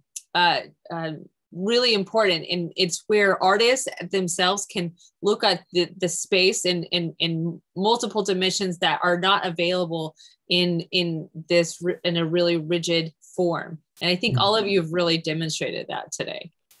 Uh, um, if, oh, sorry, go on. Oh, I was just going to add something about this. Um, and I, I think as artists, our role is not to actually create the solutions, right? I think our power is like um, seeing the problem maybe in a different way or asking a right question or presenting or like embodying that question in a certain way that moves people uh, instead of like coming up here like this i solved this problem. This is the solution. That's not what we're here for. We're more like hey like can we think of this problem this way? And um you know i don't know just represent it this way and create an experience around this and pose a, a certain question and so forth. And i think this is also like a part of haru and graham's work. We were talking about intelligence earlier uh, and their work is so much about uh, perhaps the intelligence in a very non-human centric way right? Like um, i don't know if i'm correct in saying this but um, everything you're saying is like um, has those connotations about you know let's get out uh, get out of ourselves and not place ourselves in the center of all this. Anyway that's all i want to say for now. Uh, thank you haru and uh, graham and Şölen. Hannah, uh, Weidi, Elyne, do you guys want to uh, chime in about a vision for change in the arts, design, and sciences, or what is on your mind?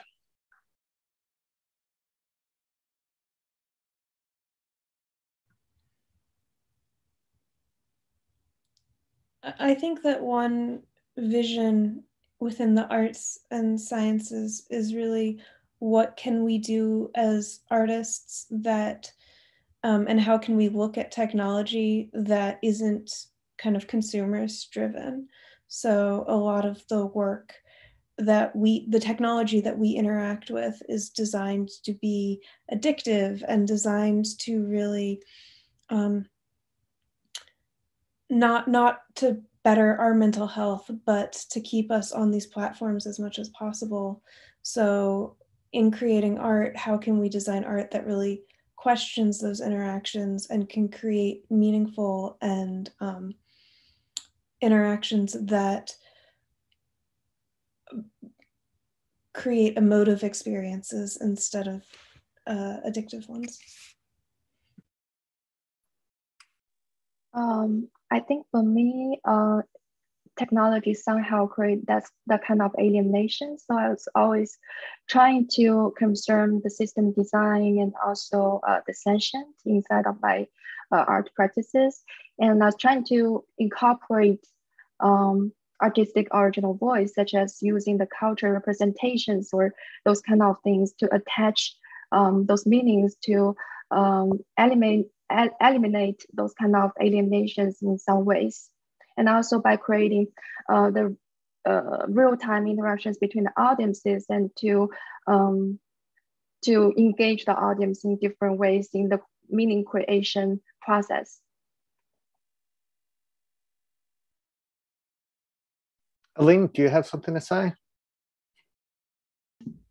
Yeah, going back to what uh, very much what Hannah was saying, I think there's really something about showing a different use of technology that isn't focused on efficiency and on like taking us taking our attention out of ourselves um, and just um, going back to just this very natural um, state of mind that we're born with, which is just being curious and feeling like exploring rather um, than um, just going on to like yeah time efficiency and uh, and well money efficiency and so on.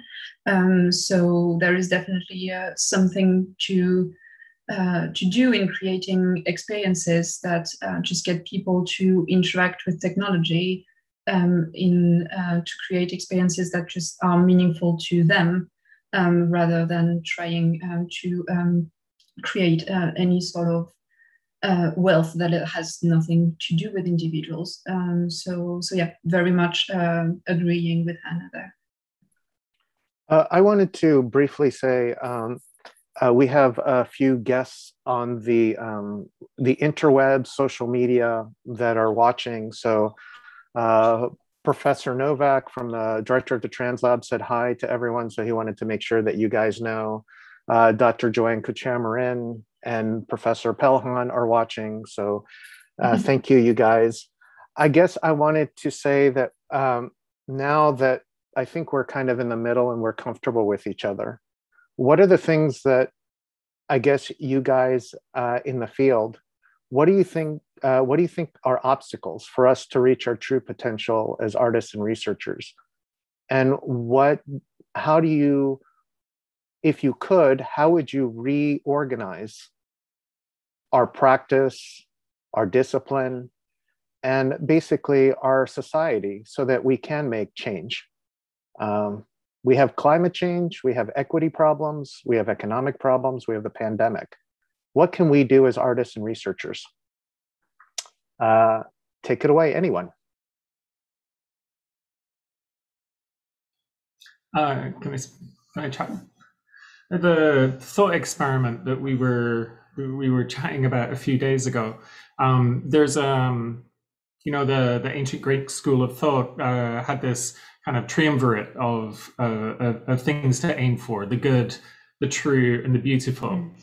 And um, you know, suddenly it occurred to me this is like the RGB, you know, but it's not the only three uh, ways you could arrange the color wheel, right? You've got your cyan, magenta, and yellow. Um, so can you rotate that space and think what sits between the good and the true, what sits between the true and the beautiful, and and, and so forth.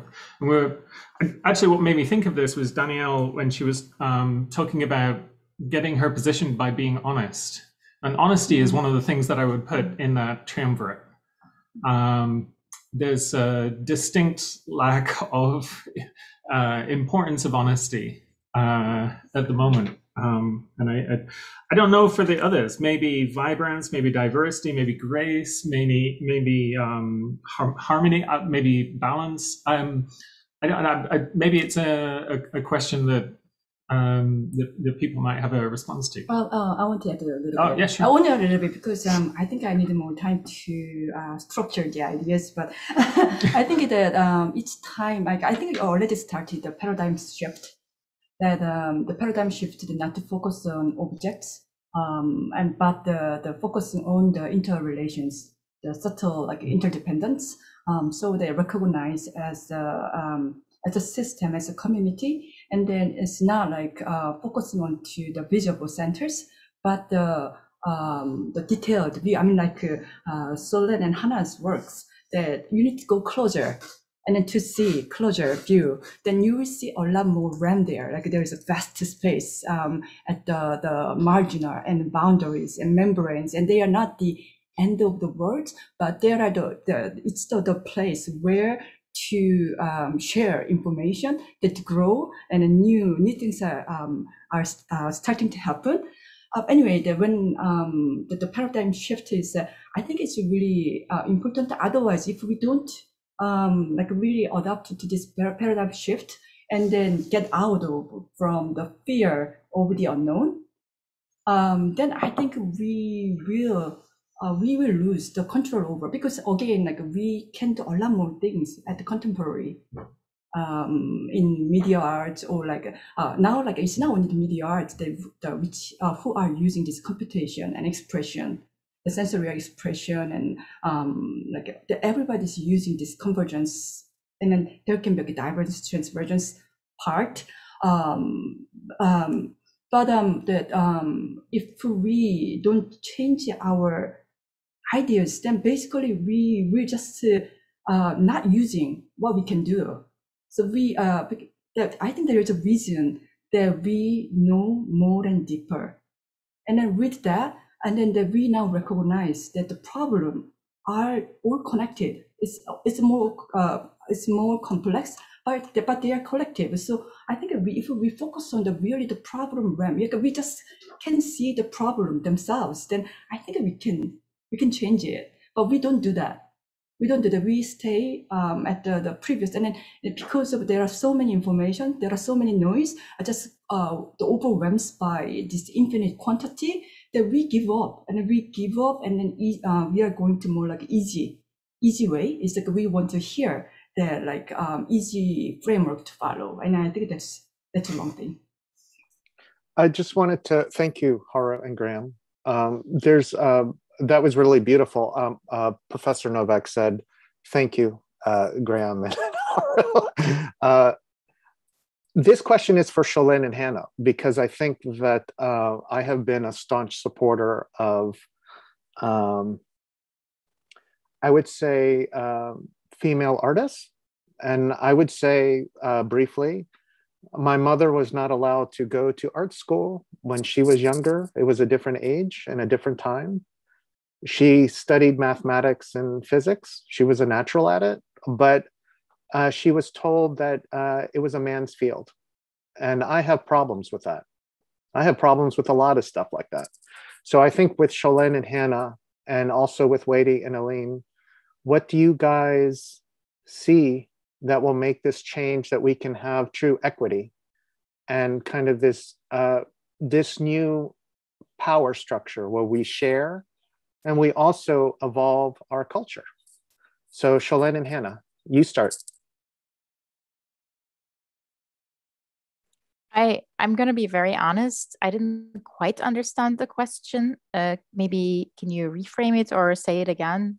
Sorry, oh yeah. Well, slow. well, basically, you guys do. You, you guys highlighted a certain type of, um, I would say, injustice. Mm-hmm. And as women artists, uh, you know, there's an undue responsibility. It seems to me, in my opinion, there was a bias. You mm-hmm. guys are now leading. You guys have made a work. and there is a dialogue out there that you're a part of. What do you think can make this better? Is it more honesty? Is it more arts about this topic? What can you do as a leading female artist about this? Oh, I'm just going to brainstorm here. I think the problem isn't like uh, about the uh, uh, female artists. Maybe the problem is more about female artists in media arts or female artists dealing with technology. It's definitely um, a small uh, group of people, and uh, it is re reflected in institutions and and so forth. I think the climate is beginning to change, uh, so I think there's hope. but um, yeah, the, there's definitely um, uh, you know, I, I, mean, there have been times that I felt like a minority in the environments that I've been in. Um, but I, I mean, I don't know what the answer would that be like for, um, I mean, for instance, like, yeah, MAT is doing this amazing thing, the um, Alliance of Women in, in Media Arts and Technology or Media Arts and Sciences, as it has changed, I suppose. Uh, organizations like this that support uh, specifically female researchers and female artists are, um, uh, and I want to quote here, uh, uh, refer to Lena Matthew here and, and JoAnn. Um, and, and Hannah also worked on this uh, organization. Uh, things like that are amazing. They're very, very helpful and they should be more. That's all I have to say. I think that one kind of continuation of this is um, I think that there's a history of women in performance art and a history of women doing performance work. And I think that the that the and and also queer and um, uh, not just women but non-binary people, people um, yeah so queer art as well in performance and the relationship of the body in that work. And i think that there that that has also been underrepresented and there's a clear relationship though between media arts and performance work is that it's it's harder to exhibit it's more temporary. There's um, a relationship between the technology and the immediacy and the now um, but when I've looked at the history of media arts, particularly robotic media arts, there's there is a, a, a lack of representation in robotic performance work among um, women and um, non-white cis male uh, artists. Um, so I think it's really important to, to look at those, but also to look back in history and to see who's talking and who's talking about artwork and who's promoting the artwork.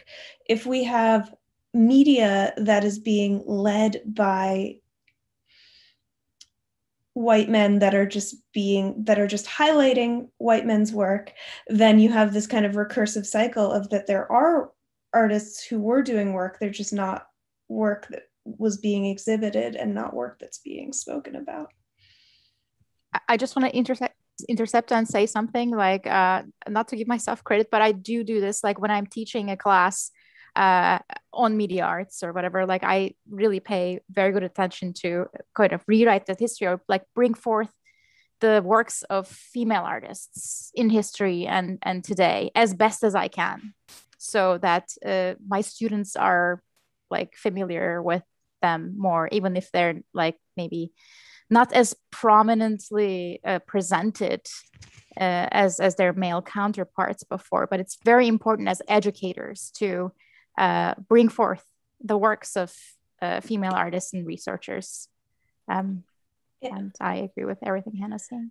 yeah, building on what Şölen says, I know this is like kind of off topic, but my mother is a history teacher and she talks about how when she teaches, she wants to teach about female scientists and female artists, not just because it kind of like kills two birds with one stone in that way. If someone asks about, talk about um, women in, you know, the Renaissance, if you have a history of knowledge of f- female artists from the Renaissance, you can talk about those. But then if you also are asked, talk about Renaissance artists, well, you have this history of, of Renaissance artists that you can talk about who are women.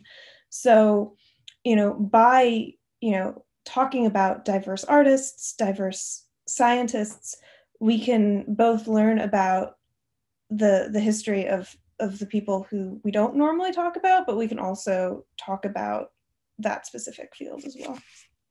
Well, I I, I think before we move on, uh, Danielle had a, a, a wanted to say something, but just before that, I know Weidi, you said that you grew up close to Tongji University. So I wanted to, before I forget, for you to comment.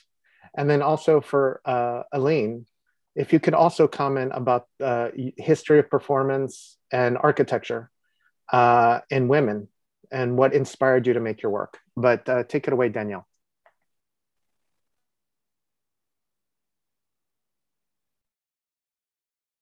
Uh, you're muted. Sorry, rookie rookie uh, call there. Uh, so uh, I'll just be brief on this. I just want to I just want to add on to to what was mentioned. Um, it, it, it's also not just about uh, showing more women, but it's also about recognizing that women were actually part of the the history of creating technology. They were just written out of all the literature and all the books and not given all the credit. Uh, I really want to give it a lot of credit to these um, um, these Wikipedia thons that are writing women back into history. Um, that is a really good way to do that. I think those have been fantastic. Um, there's also um, over the last two days there was an archiving the Black Web conference. Um, uh, women and um, uh, and and people of color, including women of color, uh, Black and Indigenous women, have been part of the history of technology and have not been given any credit for it. And I think that's really important to recognize. And uh, that has also really created a way that uh, uh, uh, wh- why we haven't seen more women and people of color come into these fields is because one is the, the, working environments were not comfortable, but there was no written examples or shared examples of that. Um, so I think mentorship is really critical in that space. Also recognizing that uh, that people of um, with disabilities and technology, um, the history of technology is also the history of disability, and that when we look at a lot of the technologies that we've been built on over the over the decades over the years, these also were about creating um, technology for access for disability access and that has also not been so um, exemplified in that history and i will say and i'll just put a plug in for leonardo's new CripTech incubator which is now accepting calls for proposals um, or calls for inquiry rather than proposals uh, about allowing that space to happen that innovation to happen uh, and it's important that um, that women, um, uh, uh, disability um, technologists and artists with disabilities come into play.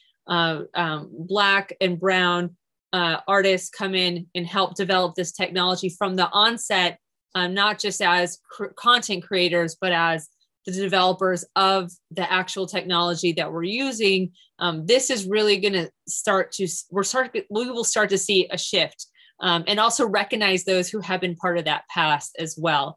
I think that's really essential as you talk about those, give those examples in your presentation, cite those in your literature, um, encourage your students not just to um, reference the the um, the cis white males that have been over and over again um, referenced in all of their papers and recreations, but really encourage them to look on who else was part of that team and how do you actually um, um, bring those those folks forward. So I want to pass it over to Weidi, um, and that's what that's all I'll mention. All right, Weidi. Thank you very much, Danielle. But Weidi, you grew up close to Tongji University. What's going on there? Oh, I um actually not growing up close to the Tongji University. Mm-hmm. I growing up in the city near Shanghai. It's uh, pretty near Suzhou. Um, and I think the question is pretty tough and I actually went through those fires um, in the recent years, and I deeply understand the pain. And I think um, probably education pro- provides a hope because um, I was being educated in Cal Arts and it's an interdisciplinary art school and any kind of art practices and um, around any kind of topics is being encouraged and um, the mentors are super supportive uh, for, for example, when I want to uh, express my identity, uh, cultural identity, my mentor is really supportive and encourage me to do that. And I think, um, for example, some of the feminism uh, artists um, in Cal Arts also being encouraged to express their own voice and using their own aesthetics or uh, different ways of practice. So I think um, definitely education provides a hope, and I agree with uh, uh, said that brings up uh, the examples from underrepresented artists. And I also agree with that. Uh, in, in the class I'm currently teaching, I always bring up the critique and theory-based um, discussion from not only from the uh, iconic artists in the Western um, art canon and also from underrepresented art, artist group. And I also think uh, the AWMAT platform is um, those kind of conference features uh, women artists work is very helpful. And I also joined one of the conference uh, last the uh, 2019, 2020. And I think um, it's a great conference and everybody uh, shared their opinions and it's a great community. Yeah, thank you. Uh, uh, thank you, Weidi. Uh, Elyne, uh, your thoughts? Yeah, I think loads of things have been said, but I think one interesting point is just that people who get in media arts like tend to come from all sorts of horizons. So it's not only about um, getting uh, you know young girls inspired to become media artists but it's really just to make them feel empowered to become anything. Because if you think about like all the different journeys we all had um, i didn't know i would land there you know? I started with spatial design. I st- started with commercial spaces and then slowly um, it just uh, i just found my way. Um, so i think it's really about um, just uh, making kids feel and uh, and yes there's girls but there's also black kids. And you know i come from like a very small island where um, you know art is not much of a thing really. Uh, when i tell what i say here um, people just like yeah they have no idea um, they think i've just gone crazy.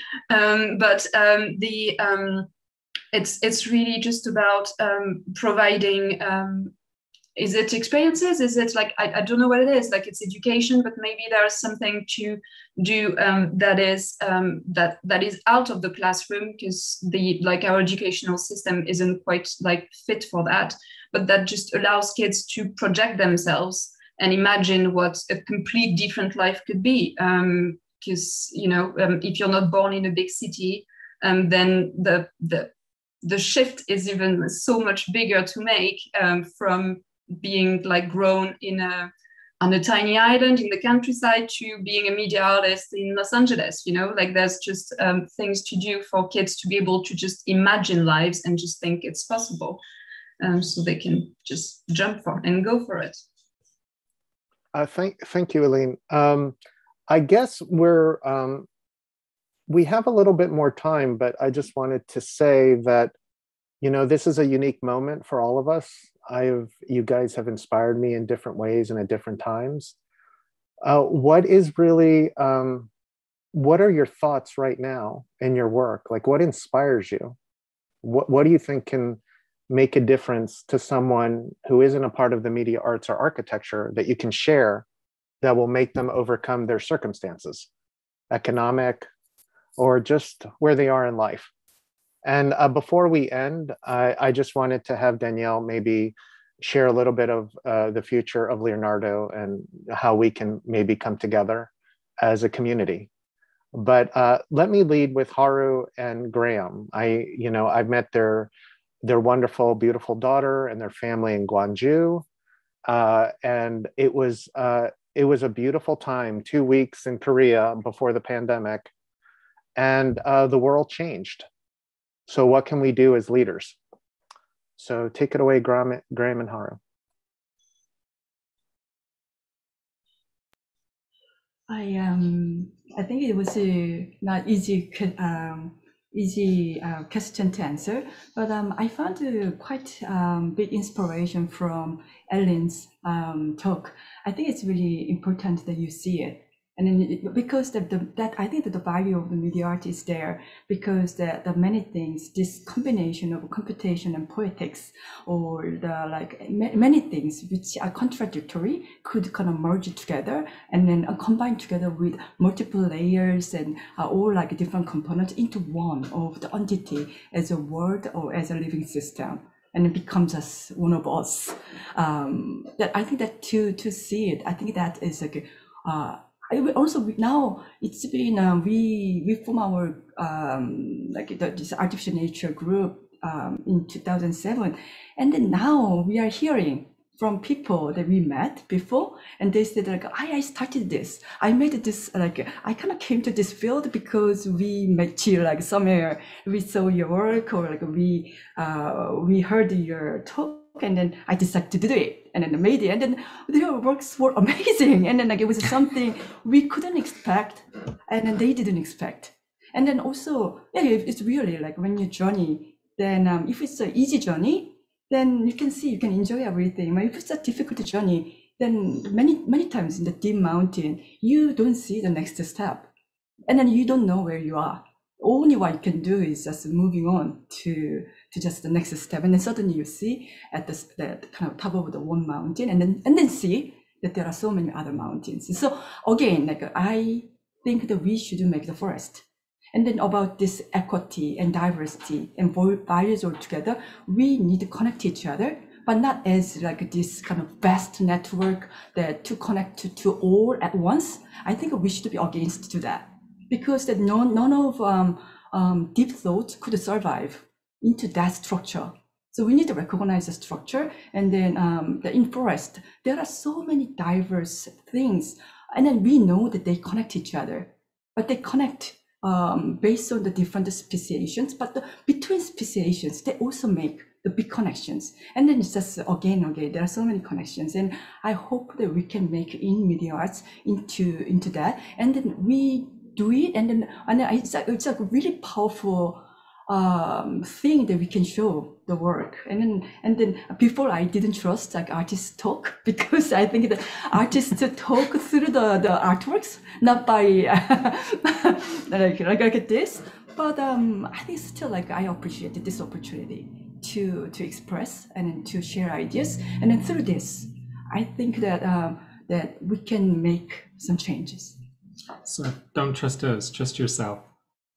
Yes. Oh, well, Let's uh, make a forest connection. well, well, well, thank you. Um, uh, Graham, do you do you have any words or books or things that you can inspire people for change? Like, I know you're an avid reader, and uh, you know you're an incredible thinker. Mm-hmm. Like, what what what can you leave us with? Um, Yesterday, I was reading some Heinz von Foerster that was written in 1971, I think it was. And the problem, he was diagnosing uh, the problems of America today. Um, and it sounds like America today. Um, I, I, really recommend you go, go and read it. It's, it's um, um, the perception of change and change of perception. Really great little uh, article.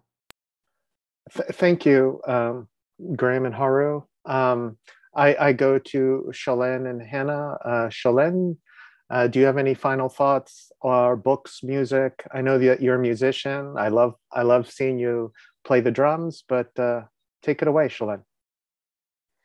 Oh, um, I don't know what I want to say final, but I think okay, this is what I want to say. I think um, part of the problem for me is that uh, media arts is still like marginalized to a degree. It's not as like commonly, um, let's say, like we're still talking amongst ourselves. And then, yes, we do community outreach reaches, but then I wish it would be even more. Um, I think the part of the problem of oh, this is because it resists commercialization to a degree, uh, what we do, because it's all like, again, it's all based in the 1960s process art, conceptual art, and so forth.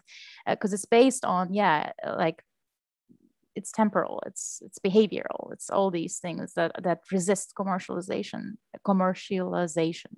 There are commercial uh, media arts but uh, we perhaps are not in that. Anyway so uh, to me like the biggest problem is to reach a, a wider audience with my work. This is what i really want to do. I want people to uh, to see my work more i mean i want to show my work and and engage in a, um, um, in a discussion uh, uh, and you know grow from there and i want to see more work.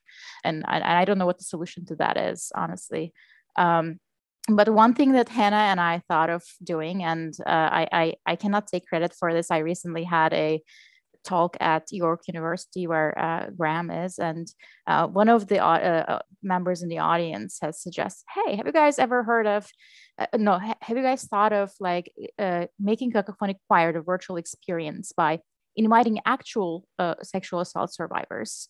and like have them represented with avatars like in the like the current work but like have have them in there and create a community uh, um, a performance or a community activity where where people uh, you know you create this version of it where people are there. Maybe it's cathartic for them or, or whatnot and uh, um, a different rendition of the piece, piece if you will.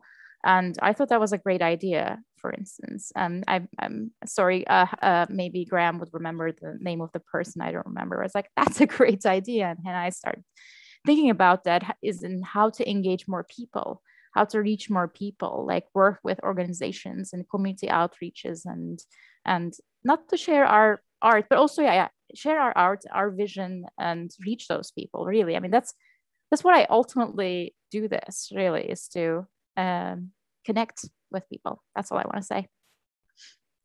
Uh, thank you. Uh, Şölen, uh, Hannah, uh, do you want to share uh, uh, just just uh, non-disclosure? Uh, Hannah and I worked for a few years closely together, but she is a fascinating, very, um, I would say, literate and wonderfully uh, gifted person. And I, I really enjoy speaking with her. And I miss that she's somewhere else teaching, but her students must love her. So take it away, Hannah. Um, yeah,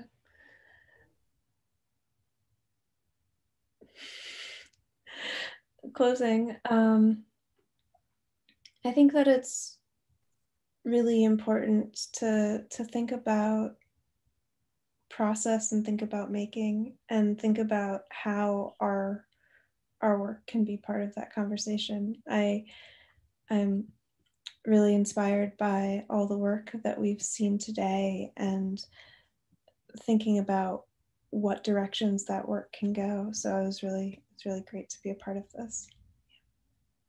Uh, just one thing, and I don't know if uh, Hannah wants to do a plug, but she had a really good radio show about science fiction.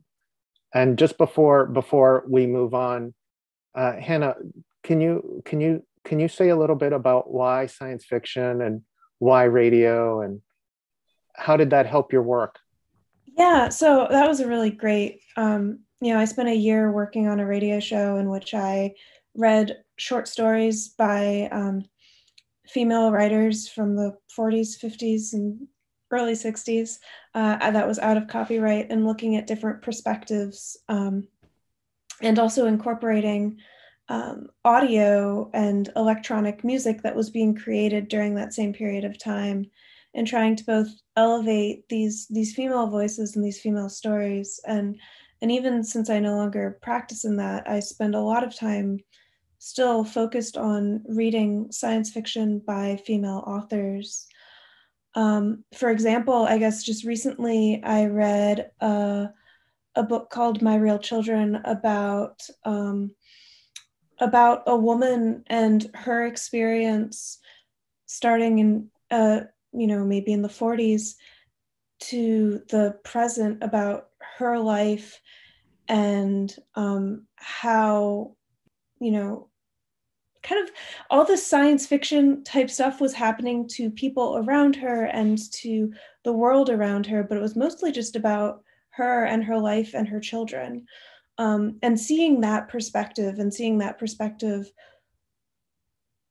from not the person who all the action is happening to, but just the everyday person and how that affects their life, I thought was really meaningful. So it's a piece uh, of media I've consumed recently. No, I just, uh, if you have not had a chance, you should listen to her. I think you have the archives of your radio show on your website, correct? Yeah. So I would recommend that uh, who I'm a fan of Hannah, I have to say. I'm a fan of all of you, but Hannah, especially, we had some good talks, and I really appreciate her intelligence uh, and her will. And um, I think now we're going to move on to, I would say, uh, do you have any final thoughts? Like, what books or media do you consume to help inspire your viewers? Um, uh, first of all, I want to thank you for having me today uh, in this great panel I got lots of inspiration from um, those uh, intriguing uh, presentations. And for final words, I think um, I got inspiration from Professor Novak uh, because in the first year in MAT, I work close uh, with TransLab, and um, he mentioned that uh, the new media art projects I created in the before is more like the flowers on the trees, and however we need to look back into the from the roots underground. So I think it's really interesting to um, looking back um, to the history and the theory to knowing where all those technological aspects coming from and to reveal the hidden like structures behind those technologies and also to build a structure that combines um, the rational and the magical in, a, uh, in your uh, in the unique voices. So I think that's something I want to bring up. And for the uh, book I'm currently reading is actually uh, uh, the Manuel de it's, just by my hand and assemblage theory because uh, English is my uh, second language and uh, my reading pace is really slow and it's also from the uh, psychological field. So um, I'm still reading this book and trying to get uh, to know deeply about those kind of elements mentioned in this book. Thank you. Uh, thank you, Weidi. Um, before we move on, uh, Professor Novak wanted to say thank you. And uh, but uh, before that, I wanted to say that we are going to have a conference. I think it's a few weeks, and maybe someone from Digital Futures can come in at the end. But uh, I think we might have Manuel DeLanda. I'm not sure, but fingers crossed. and I think Zizek is also a part of it as well. Fingers crossed. So that would be fun to have. And we would love to have you and part of the free workshops. Please invite your students and our, our community. But uh, Elyne take it away. Do you have final thoughts? What books? What inspires you? Movements? Art?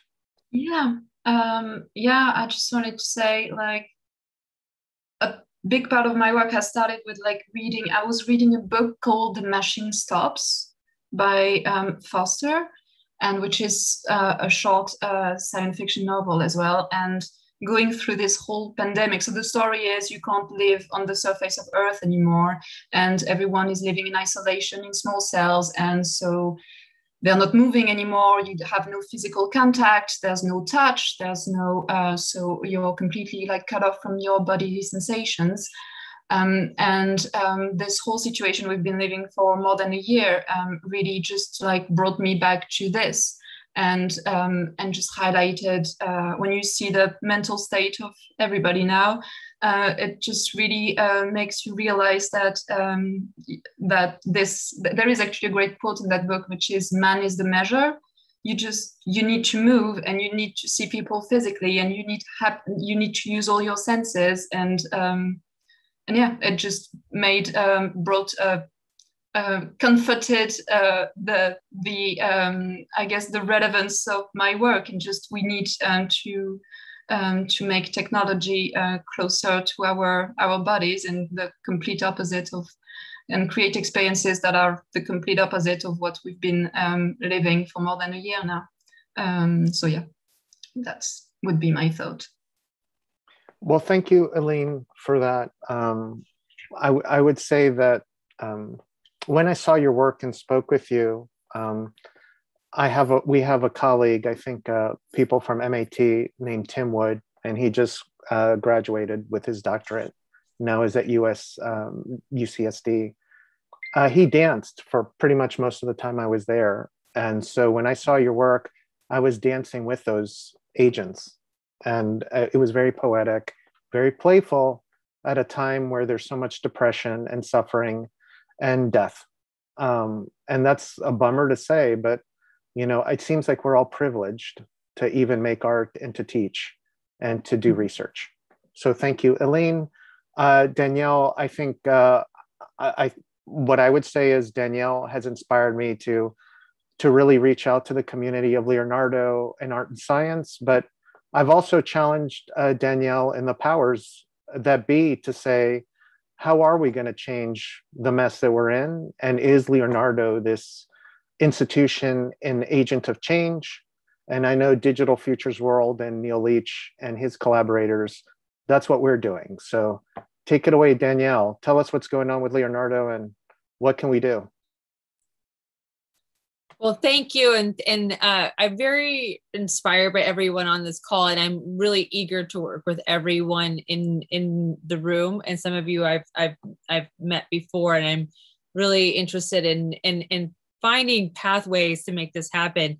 Um, so first, I want to also thank Gustavo for really pushing the me and the organization uh, to really make sure that we are uh, focus on bringing everybody into the community and having a community first approach. And that's really uh, quite a bit of what we do. I mean, our our vision as an organization is to activate creativity, to push the boundaries of today, and unleash the possibilities of tomorrow. And all of you are doing that. And uh, I don't want to take up too much more time because I know that we're we're we're getting close to the hour, but one of the ways that we are approaching this is looking at how we can transform systems and how we can amplify net networks and how we can incubate ideas and that really um, starts internally with ourselves and then externally there's going to be quite a few programs and initiatives that are going to be rolling out throughout this year but I wanted to really emphasize that uh, Leonardo is a network of networks. It is um, something that looks at uh, creativity as this power, as creativity, curiosity, compassion, and all of the uh, areas that really about how you as creators are connecting and amplifying the work that you do to create impact throughout the world in their in your own and unique ways and it's our mission to really help foster that and to center that and to create the structures around it to make that happen. So we work with the full cycle creative engine to really make sure that your work is as empowered as possible. And so I'm creating that invitation. Uh, we are um, looking at how we can approach the, the UN sustainability goals, especially in this year, the creative economy, to make sure that happens. Uh, really focusing on how we can support um, the, the the work of the of what you're doing in the way that artists are working and uh, for a new economy, for a better future, uh, for a more generative and just world for all. And I'm just going to end it on there. And feel free to reach out with out to me to check out our website leonardo.info. But this is done with you all and um, in in in support of really thinking and experimenting and creating for a uh, regenerative and just world. Thank you. Uh, thank you, Danielle, uh, for your thoughts. And I just wanted to say that hopefully Leonardo and the, the new board and also all of everyone here can see the future leaders, I think, future strong, dynamic, and willed people uh, that cannot be stopped. I'm very humbled to be here with you guys. And the only thing I can say is after this call, I'll be reading and working and hopefully scheming and planning another talk. So with that end, I invite uh, Neil Leach. Um, he is our guide and he's the he's the person that uh, inspired me last year. I I think he was half dead when he was organizing 24 hour talks for I think two weeks. But um, at the end of my dissertation, I just typed in and it was like, he changed my life because I realized I needed to come out of research and to focus on community building. So I wanted to introduce Neil Leach. Uh, take it away. Gustavo, thank you. I mean, thanks for this session today. Um, the only responsibility I can I can take uh, credit for was encouraging Gustavo to have this session. I, I could see that it was going to it could be amazing, um, and it has been amazing. So I just want to thank the presenters. It was truly extraordinary work, and I, I, I really amazing work. One of the best sessions we've ever had, and I hope that we can have more. And uh, and maybe we can have some workshops coming on in our Inclusive Futures um, event. That would be absolutely amazing. I mean, just to say for those of you unaware, um, last year, uh, what happened with Digital Futures is that we decided to kind of go online, go online and go global, and it turned into this massive event. We had 12,000 applications, and uh, this year we, we want to make it even more inclusive. Our idea is somehow that we can use this platform to break down the walls of the classroom. Um, I mean, to, uh, there are many kind of, I think, uh, injustices in the world, and uh, I think that a lot of people are kind of cut off from these ideas. But we we try to use the platform to kind of break through the walls of the classroom and to open things up into new dimensions. And we're trying to do even more this time. Um, and I mean, the kind of the ideas today kind of chime with our ideas for um, inclusive futures to really embrace the the less privileged um, communities in the world and to make to, to to to to bring educational ideas to everyone. We see education as a human right and not as a, a, privilege of the rich. So that's what we're we're planning in the summer, and um, it's a very exciting time because we're putting together some astonishing range of um, a range of, of, workshops, really interesting from very very talented people from some of the most some of the most famous schools, but also including people from with, with outreach into into other domains that otherwise we wouldn't have. Um, have, have, have, have, maybe encroached uh, areas where of less less privileged um, communities. Uh, as part of that, we're also just to mention it briefly, um, since uh, Gustavo raised the name Manuel DeLanda, we, we, we are we are launching what we call the Digital Consortium, which is a platform for doctoral pro, doctoral students primarily, but it'll be live streamed to everyone, where we're going to put together two particular courses, one on performative um, uh, uh, design, um, which my colleague Philip Yuan is going to be uh, curating, bringing in people like Achim Menges uh, um, and so on. Um, I'm doing the one on theory. Um, and we're going to kick off with Slavoj Žižek, somebody who has um, always inspired me um, slightly crazy, but always um, uh, incredibly interesting. Um, and we're trying to build up from there. Sanford Kwinter is definitely on board, and we're working on others, uh, Manon Glander and, and some, a number of uh, key female voices. I wish I could confirm their names. But one thing we're definitely going to be doing, and I, I actually got confirmation during this the session today, and that is to to launch um, a new theory prize. Uh, um, a um, Mark Cousins Memorial Prize. Mark Cousins, as many of you know, was a hugely inspirational theorist at the Architectural Association. He was my colleague there, and um, he died tragically this last year, not from COVID, but uh, it's a great loss. And Parveen Adams has um, agreed that there, there should be a Mark Cousins Memorial Prize, so we will have one. And uh, that's a way of continuing that legacy. And, and for those of you who don't know Mark, Mark was really somebody who kind of brought some incredibly interesting ideas into the kind of domain of, of, architectural design. Uh, he was a very rich thinker, and I think that many of you would, if you haven't heard him, would appreciate what he had to say. So anyway, we're in this planning stage. It's a very exciting moment, and thank you for your, your inspiration. Um, let's hope that together uh, the Digital Futures Inclusive Futures event can inspire other people uh, as much as you have. But this was really terrific work. I um, I'm in awe of all the artists here. And what I see actually is something something emerging, um, which is a kind of new space of creativity between different disciplines, which is, I think, incredibly exciting. It's it's uh, not only different disciplines, but between the kind of the physical and the virtual, between the uh, artificial and the, and the and the intelligent human intelligence, something very special. So I'd like to congratulate you all and thank Gustavo above all for putting this together. Um, so thank you all. Uh, thank you, Neil. And I just wanted to say before we end is Neil has a great um, series of, uh, I would say, panels from, I think it's your AI course at Florida International University. I joined it every Sunday at 6, I think, or 7 a.m. And it was a bit early, but I could say that every moment was a challenge. Like I had to read, learn, and hustle every uh, every week and to be alive. So I wanted to thank Neil. He's gonna, I think he's in the middle of one book being published and he's writing two more on artificial intelligence. So I can't wait to read them. And I would actually challenge both uh, Digital Futures World and Leonardo to find a way to work together because we need your leadership. Uh, I think there's a lot of people that would benefit. And uh, I want to say a shout out to Lumens Prize. I think they're still open, and I see winners here. Each one of you are winners, but if you need to apply, please apply to the Lumens Prize. Encourage your students. And I wanted to say thank you, everyone, for coming.